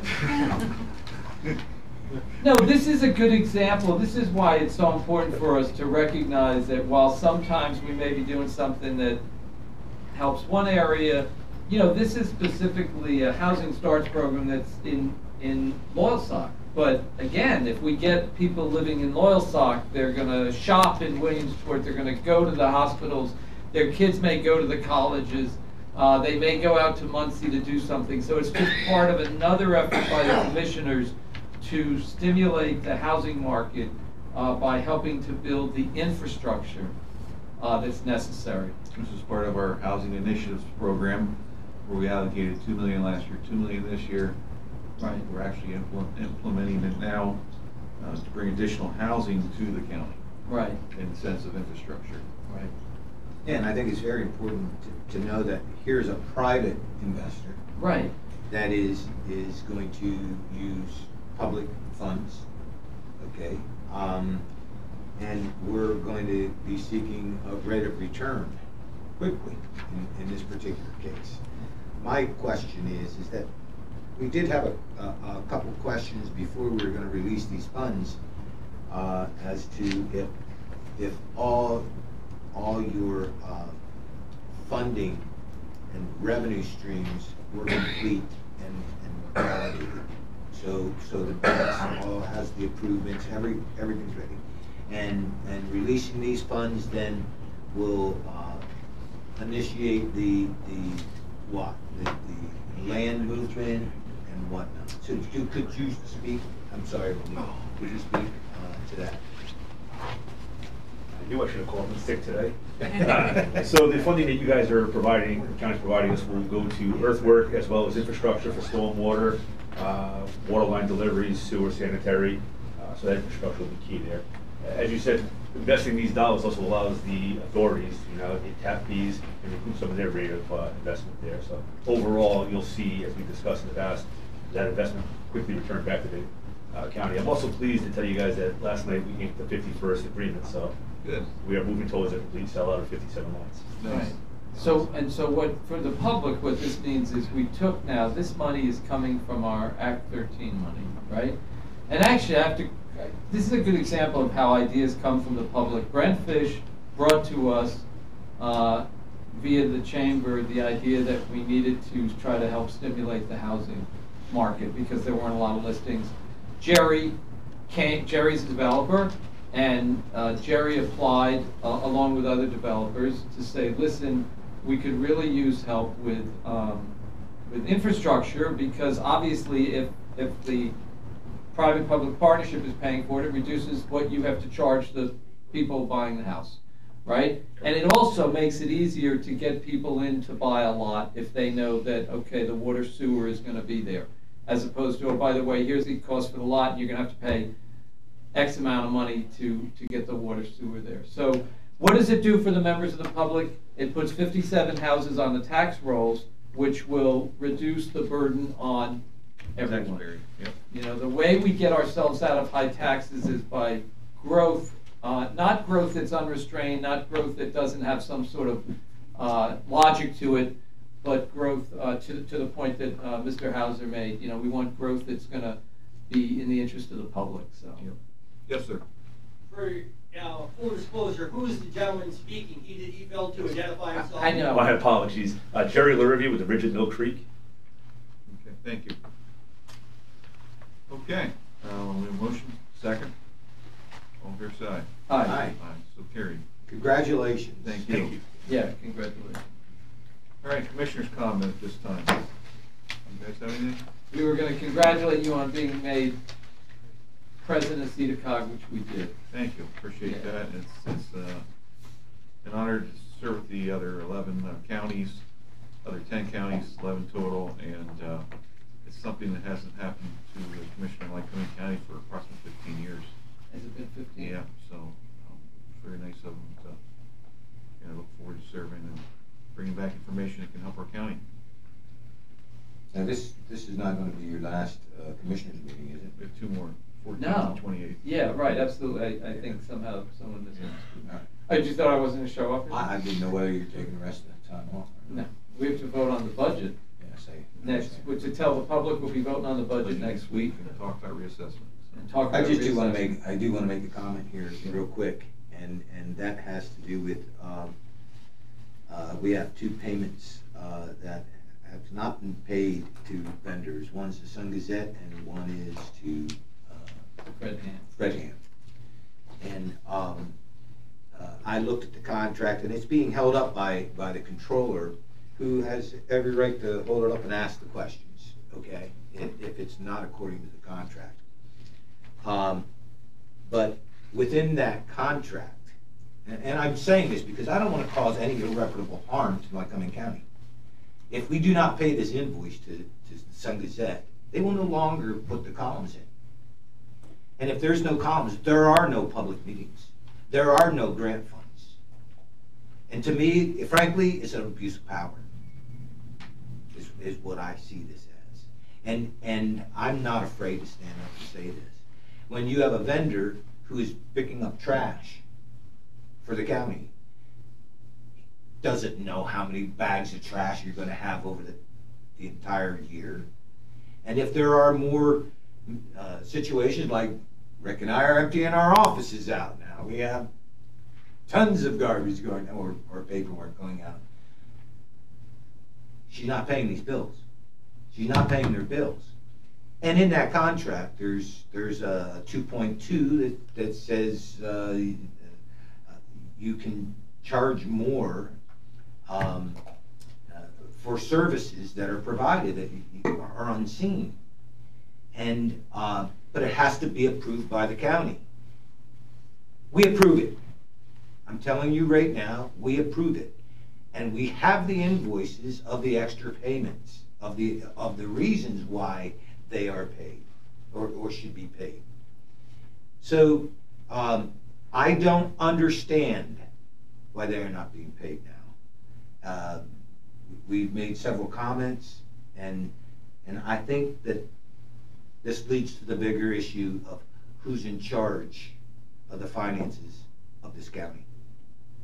And, and we say, we are in charge, and it specifically states that in the county code and even in our contracts uh, that are signed by the county commissioners. So uh, I hope the controller does the right thing and gets these people paid by, by the end of this week, or we could suffer uh, severe consequences. Okay, thank you. Commissioner, you have anything? Okay, public comment? Yes, please. Ask you to keep it to county issues and keep your comments brief. Thank you. Okay. Good morning, Scott. Scott Miller, 822 Tucker Street, Williamsport. Before I get to what I mainly came here for, while Forrest is here, myself and a number of us were very dismayed that when we put our ballots in, the computer didn't show who we voted for and really would like to know that, you know, we voted for this person, that person, and not, you know, somebody else, just as a visual confirmation. I don't know if the computer program could do that, but myself and a number of people were very dismayed about that. Uh, I mean, that, that would be a violation of the state constitution if the voting system was to show the content of someone's vote on the screen. You know, so for every person like you who might appreciate a, some kind of verification on the screen, there are lots of other people who would be concerned about that compromising the secrecy of their ballot.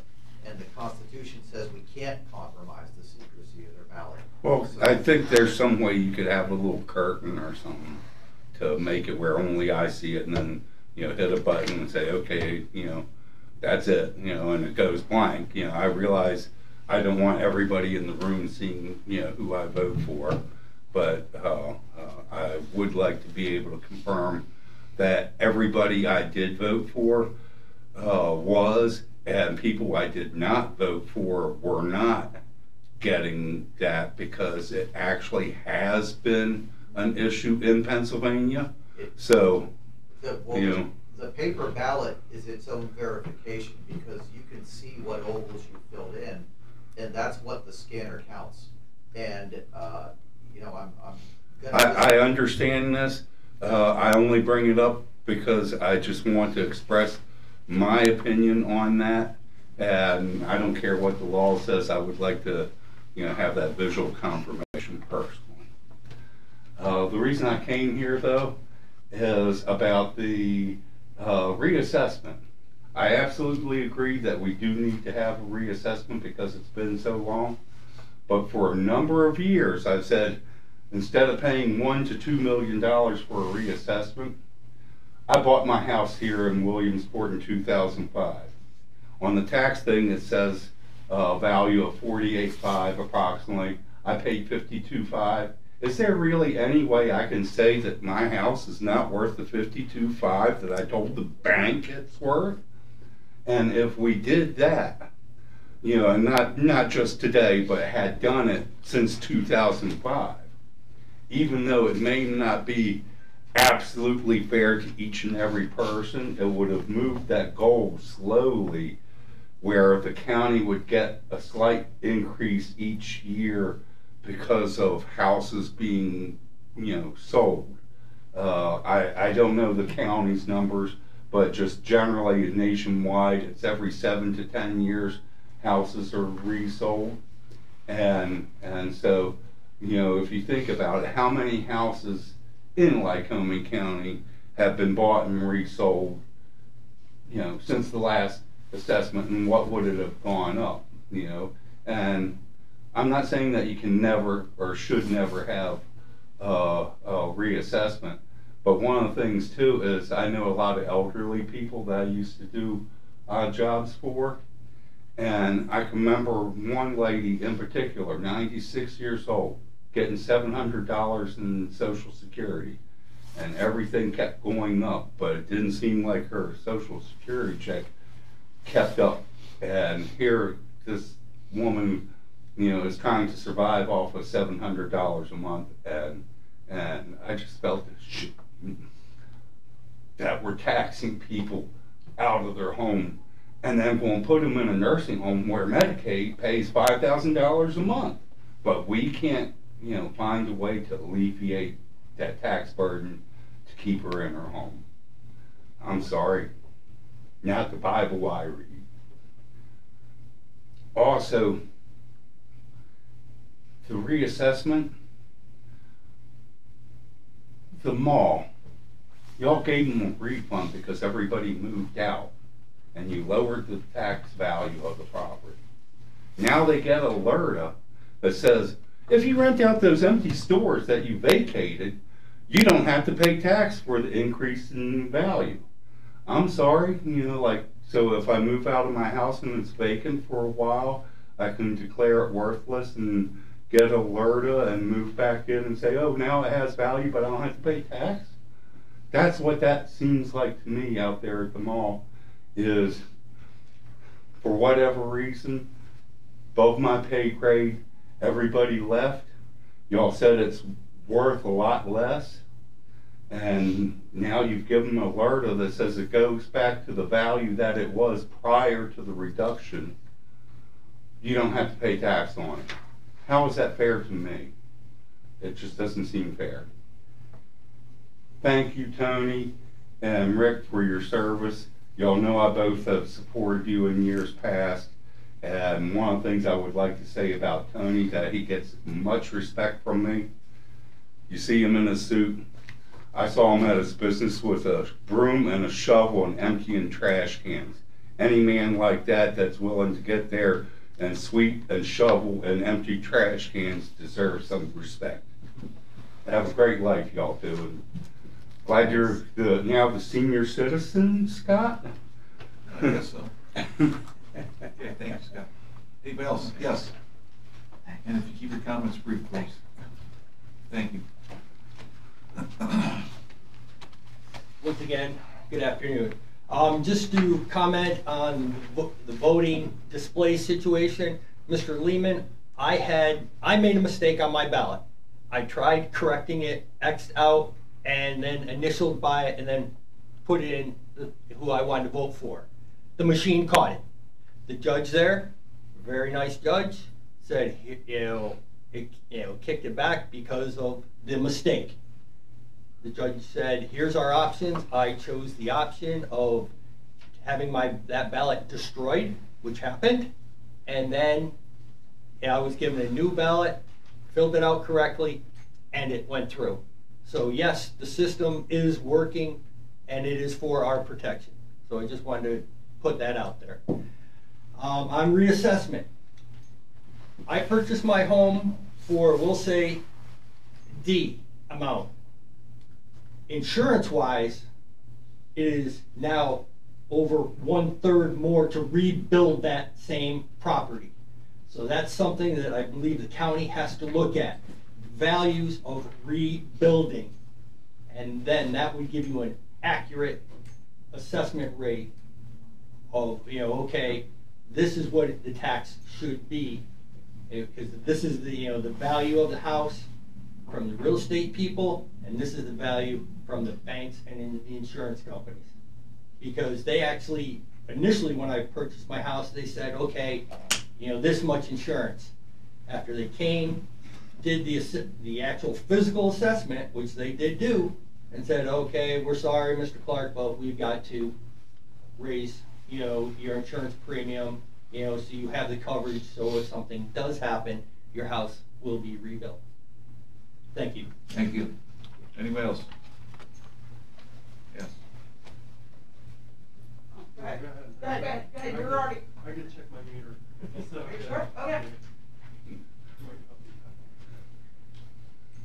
I think he's saying talk slowly.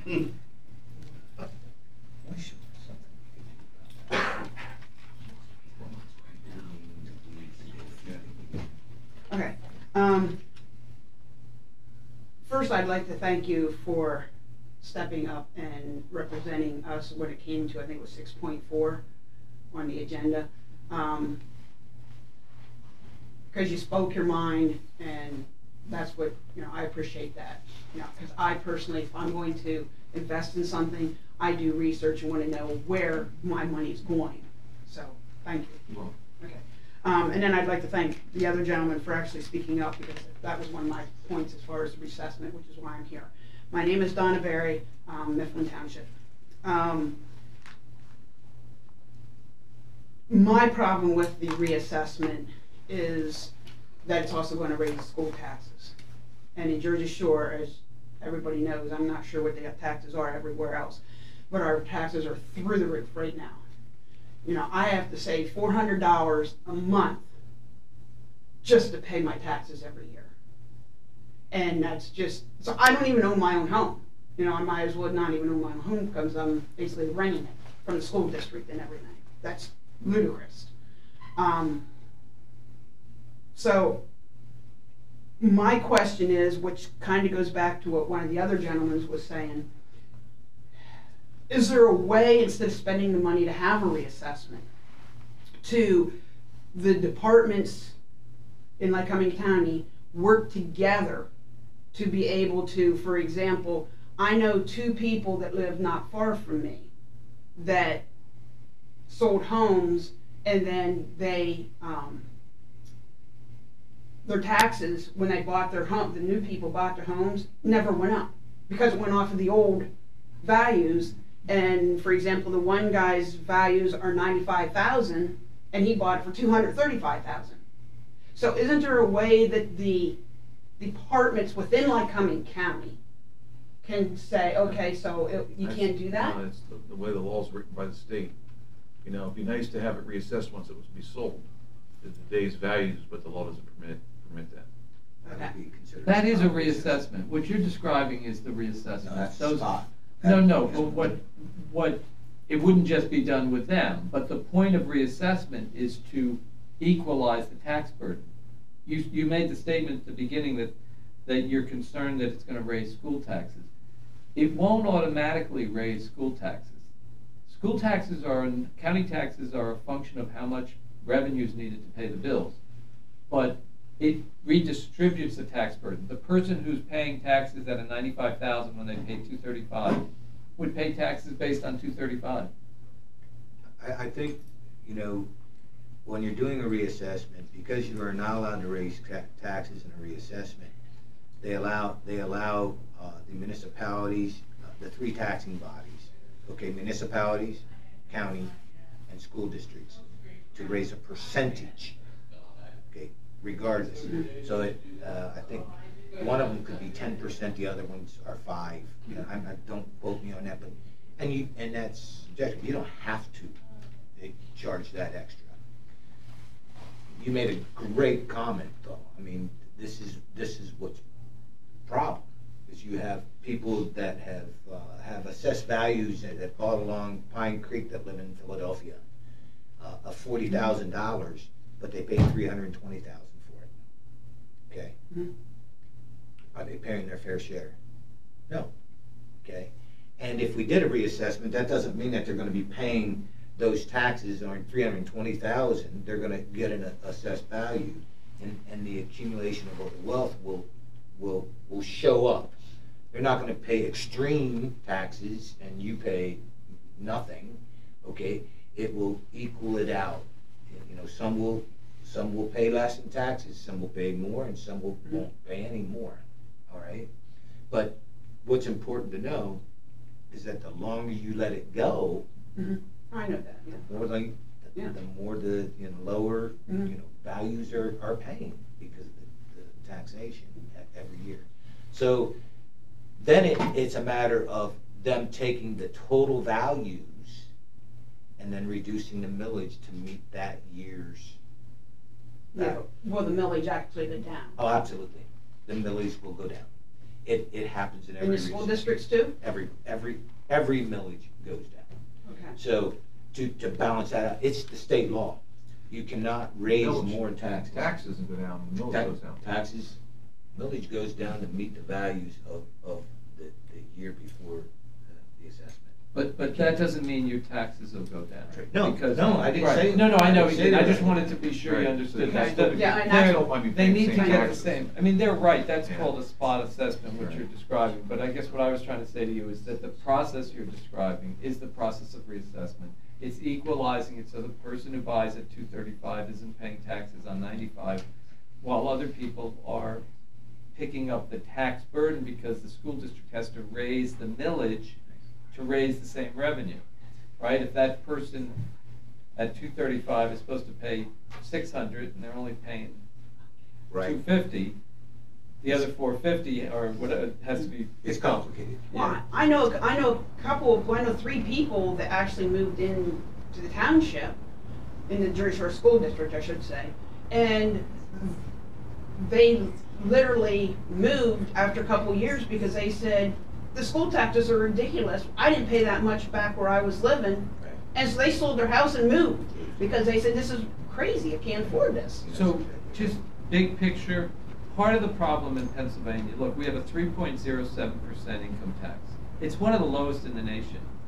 And when a governor or co- or, or people in the legislature say, let's increase the income tax, everyone says, whoa, whoa, don't do that. The people who are making thirty-five, fifty thousand, our senior citizens are not gonna see an increase, because there's a cutoff at which you don't pay state income tax.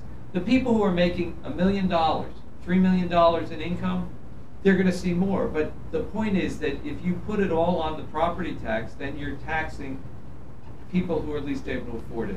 And so we have to get and educate people about the fact that if it's proportional, if you just raise the personal income tax and you don't do anything with the property tax, but there was a proposal by Governor Wolf to raise the personal income tax and reduce the property tax at a, you know, at a rate. You know, then, then you actually begin to distribute the tax burden. We don't have a lot of people in our community making one or two million dollars a year. In the big cities, lawyers at the big firms have got to be starting at three or four hundred thousand dollars. I mean, they were starting at 150 30 years ago. So you have doctors, you have lawyers, you have, you know. And, and a reassessment is not about raising taxes, a reassessment is putting the right values on the properties. I, I know it's not to raise taxes, and I know exactly what you just mean, you know, we're just saying. It's just, my concern is, as the gentleman said about senior citizens, for example, you know, they don't, I had to help my parents pay bills, you know, and that's ridiculous. They worked all those years and then couldn't even afford their house. I had to help them so they could keep their house. And that's, so to me, a reassessment for the older people, in my opinion, is just gonna hurt them even more. You know what I mean? Some, some could and some could Yeah. really help. Yeah, so, and then the last thing, which I know you can't do anything about this either, but still about the assessment. Because of what people started in twenty twenty, paying to build houses, okay? Because building materials went through the roof. Is there anything that can be done? Because even though, for example, I, I built my house in twenty twenty okay? I knew what I paid, which was a lot more than I should have had to have paid a few years before that.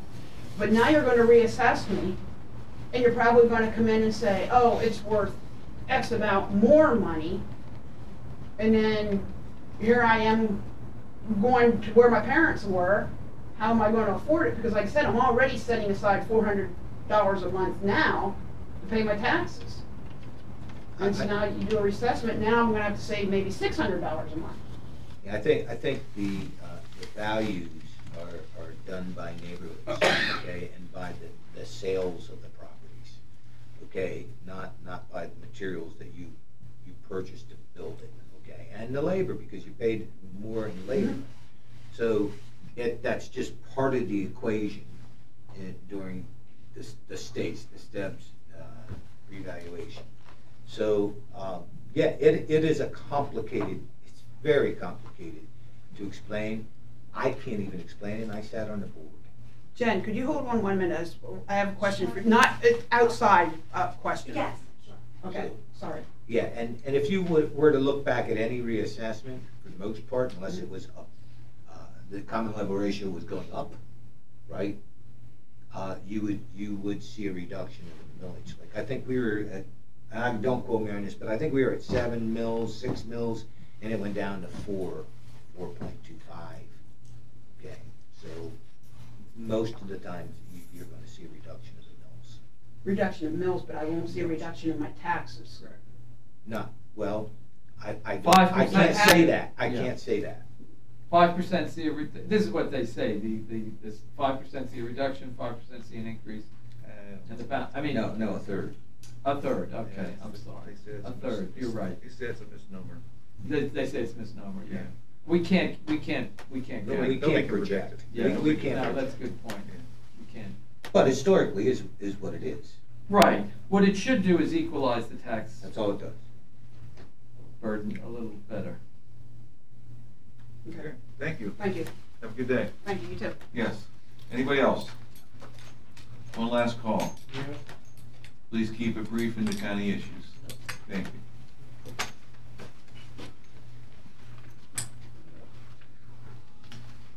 Maureen. Morning. Tom Adams, Williamsport, Romans three eighteen. There is no fear of God before their eyes, and that's what we see a lot of. Um, just brief mention of the protest scheduled for Saturday. Um, I don't, I don't see that they have a fear of God because, um, Israel has got to wipe out Hamas. It's just a plain fact. And it's a sad thing, but they're not gonna stop. They're gonna continue. And and it is kind of a county issue because we do want to stand up for what's right.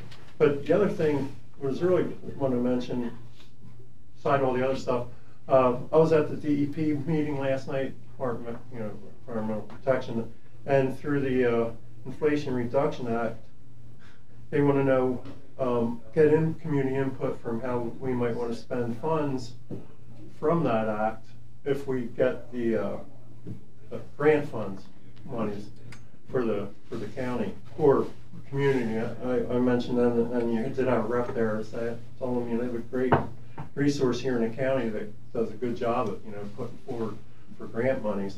Now, if they, if you were able to get a grant, do, do you know yet, is, are there parameters that they tell you how you have to spend that money?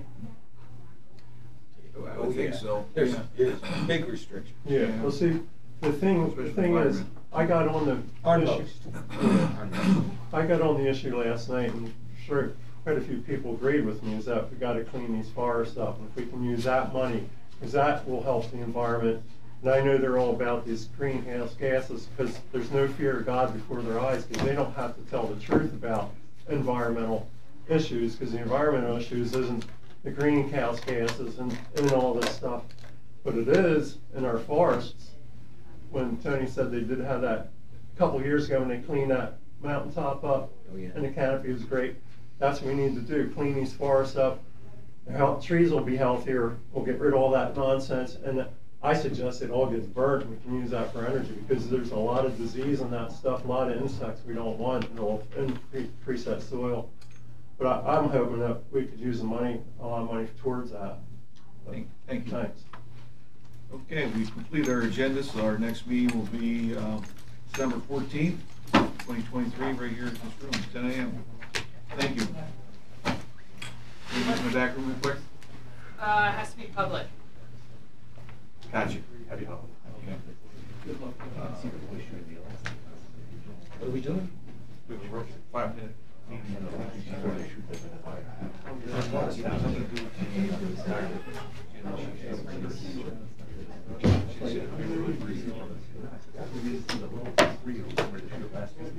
Really? Was it, was it your kid? Yeah.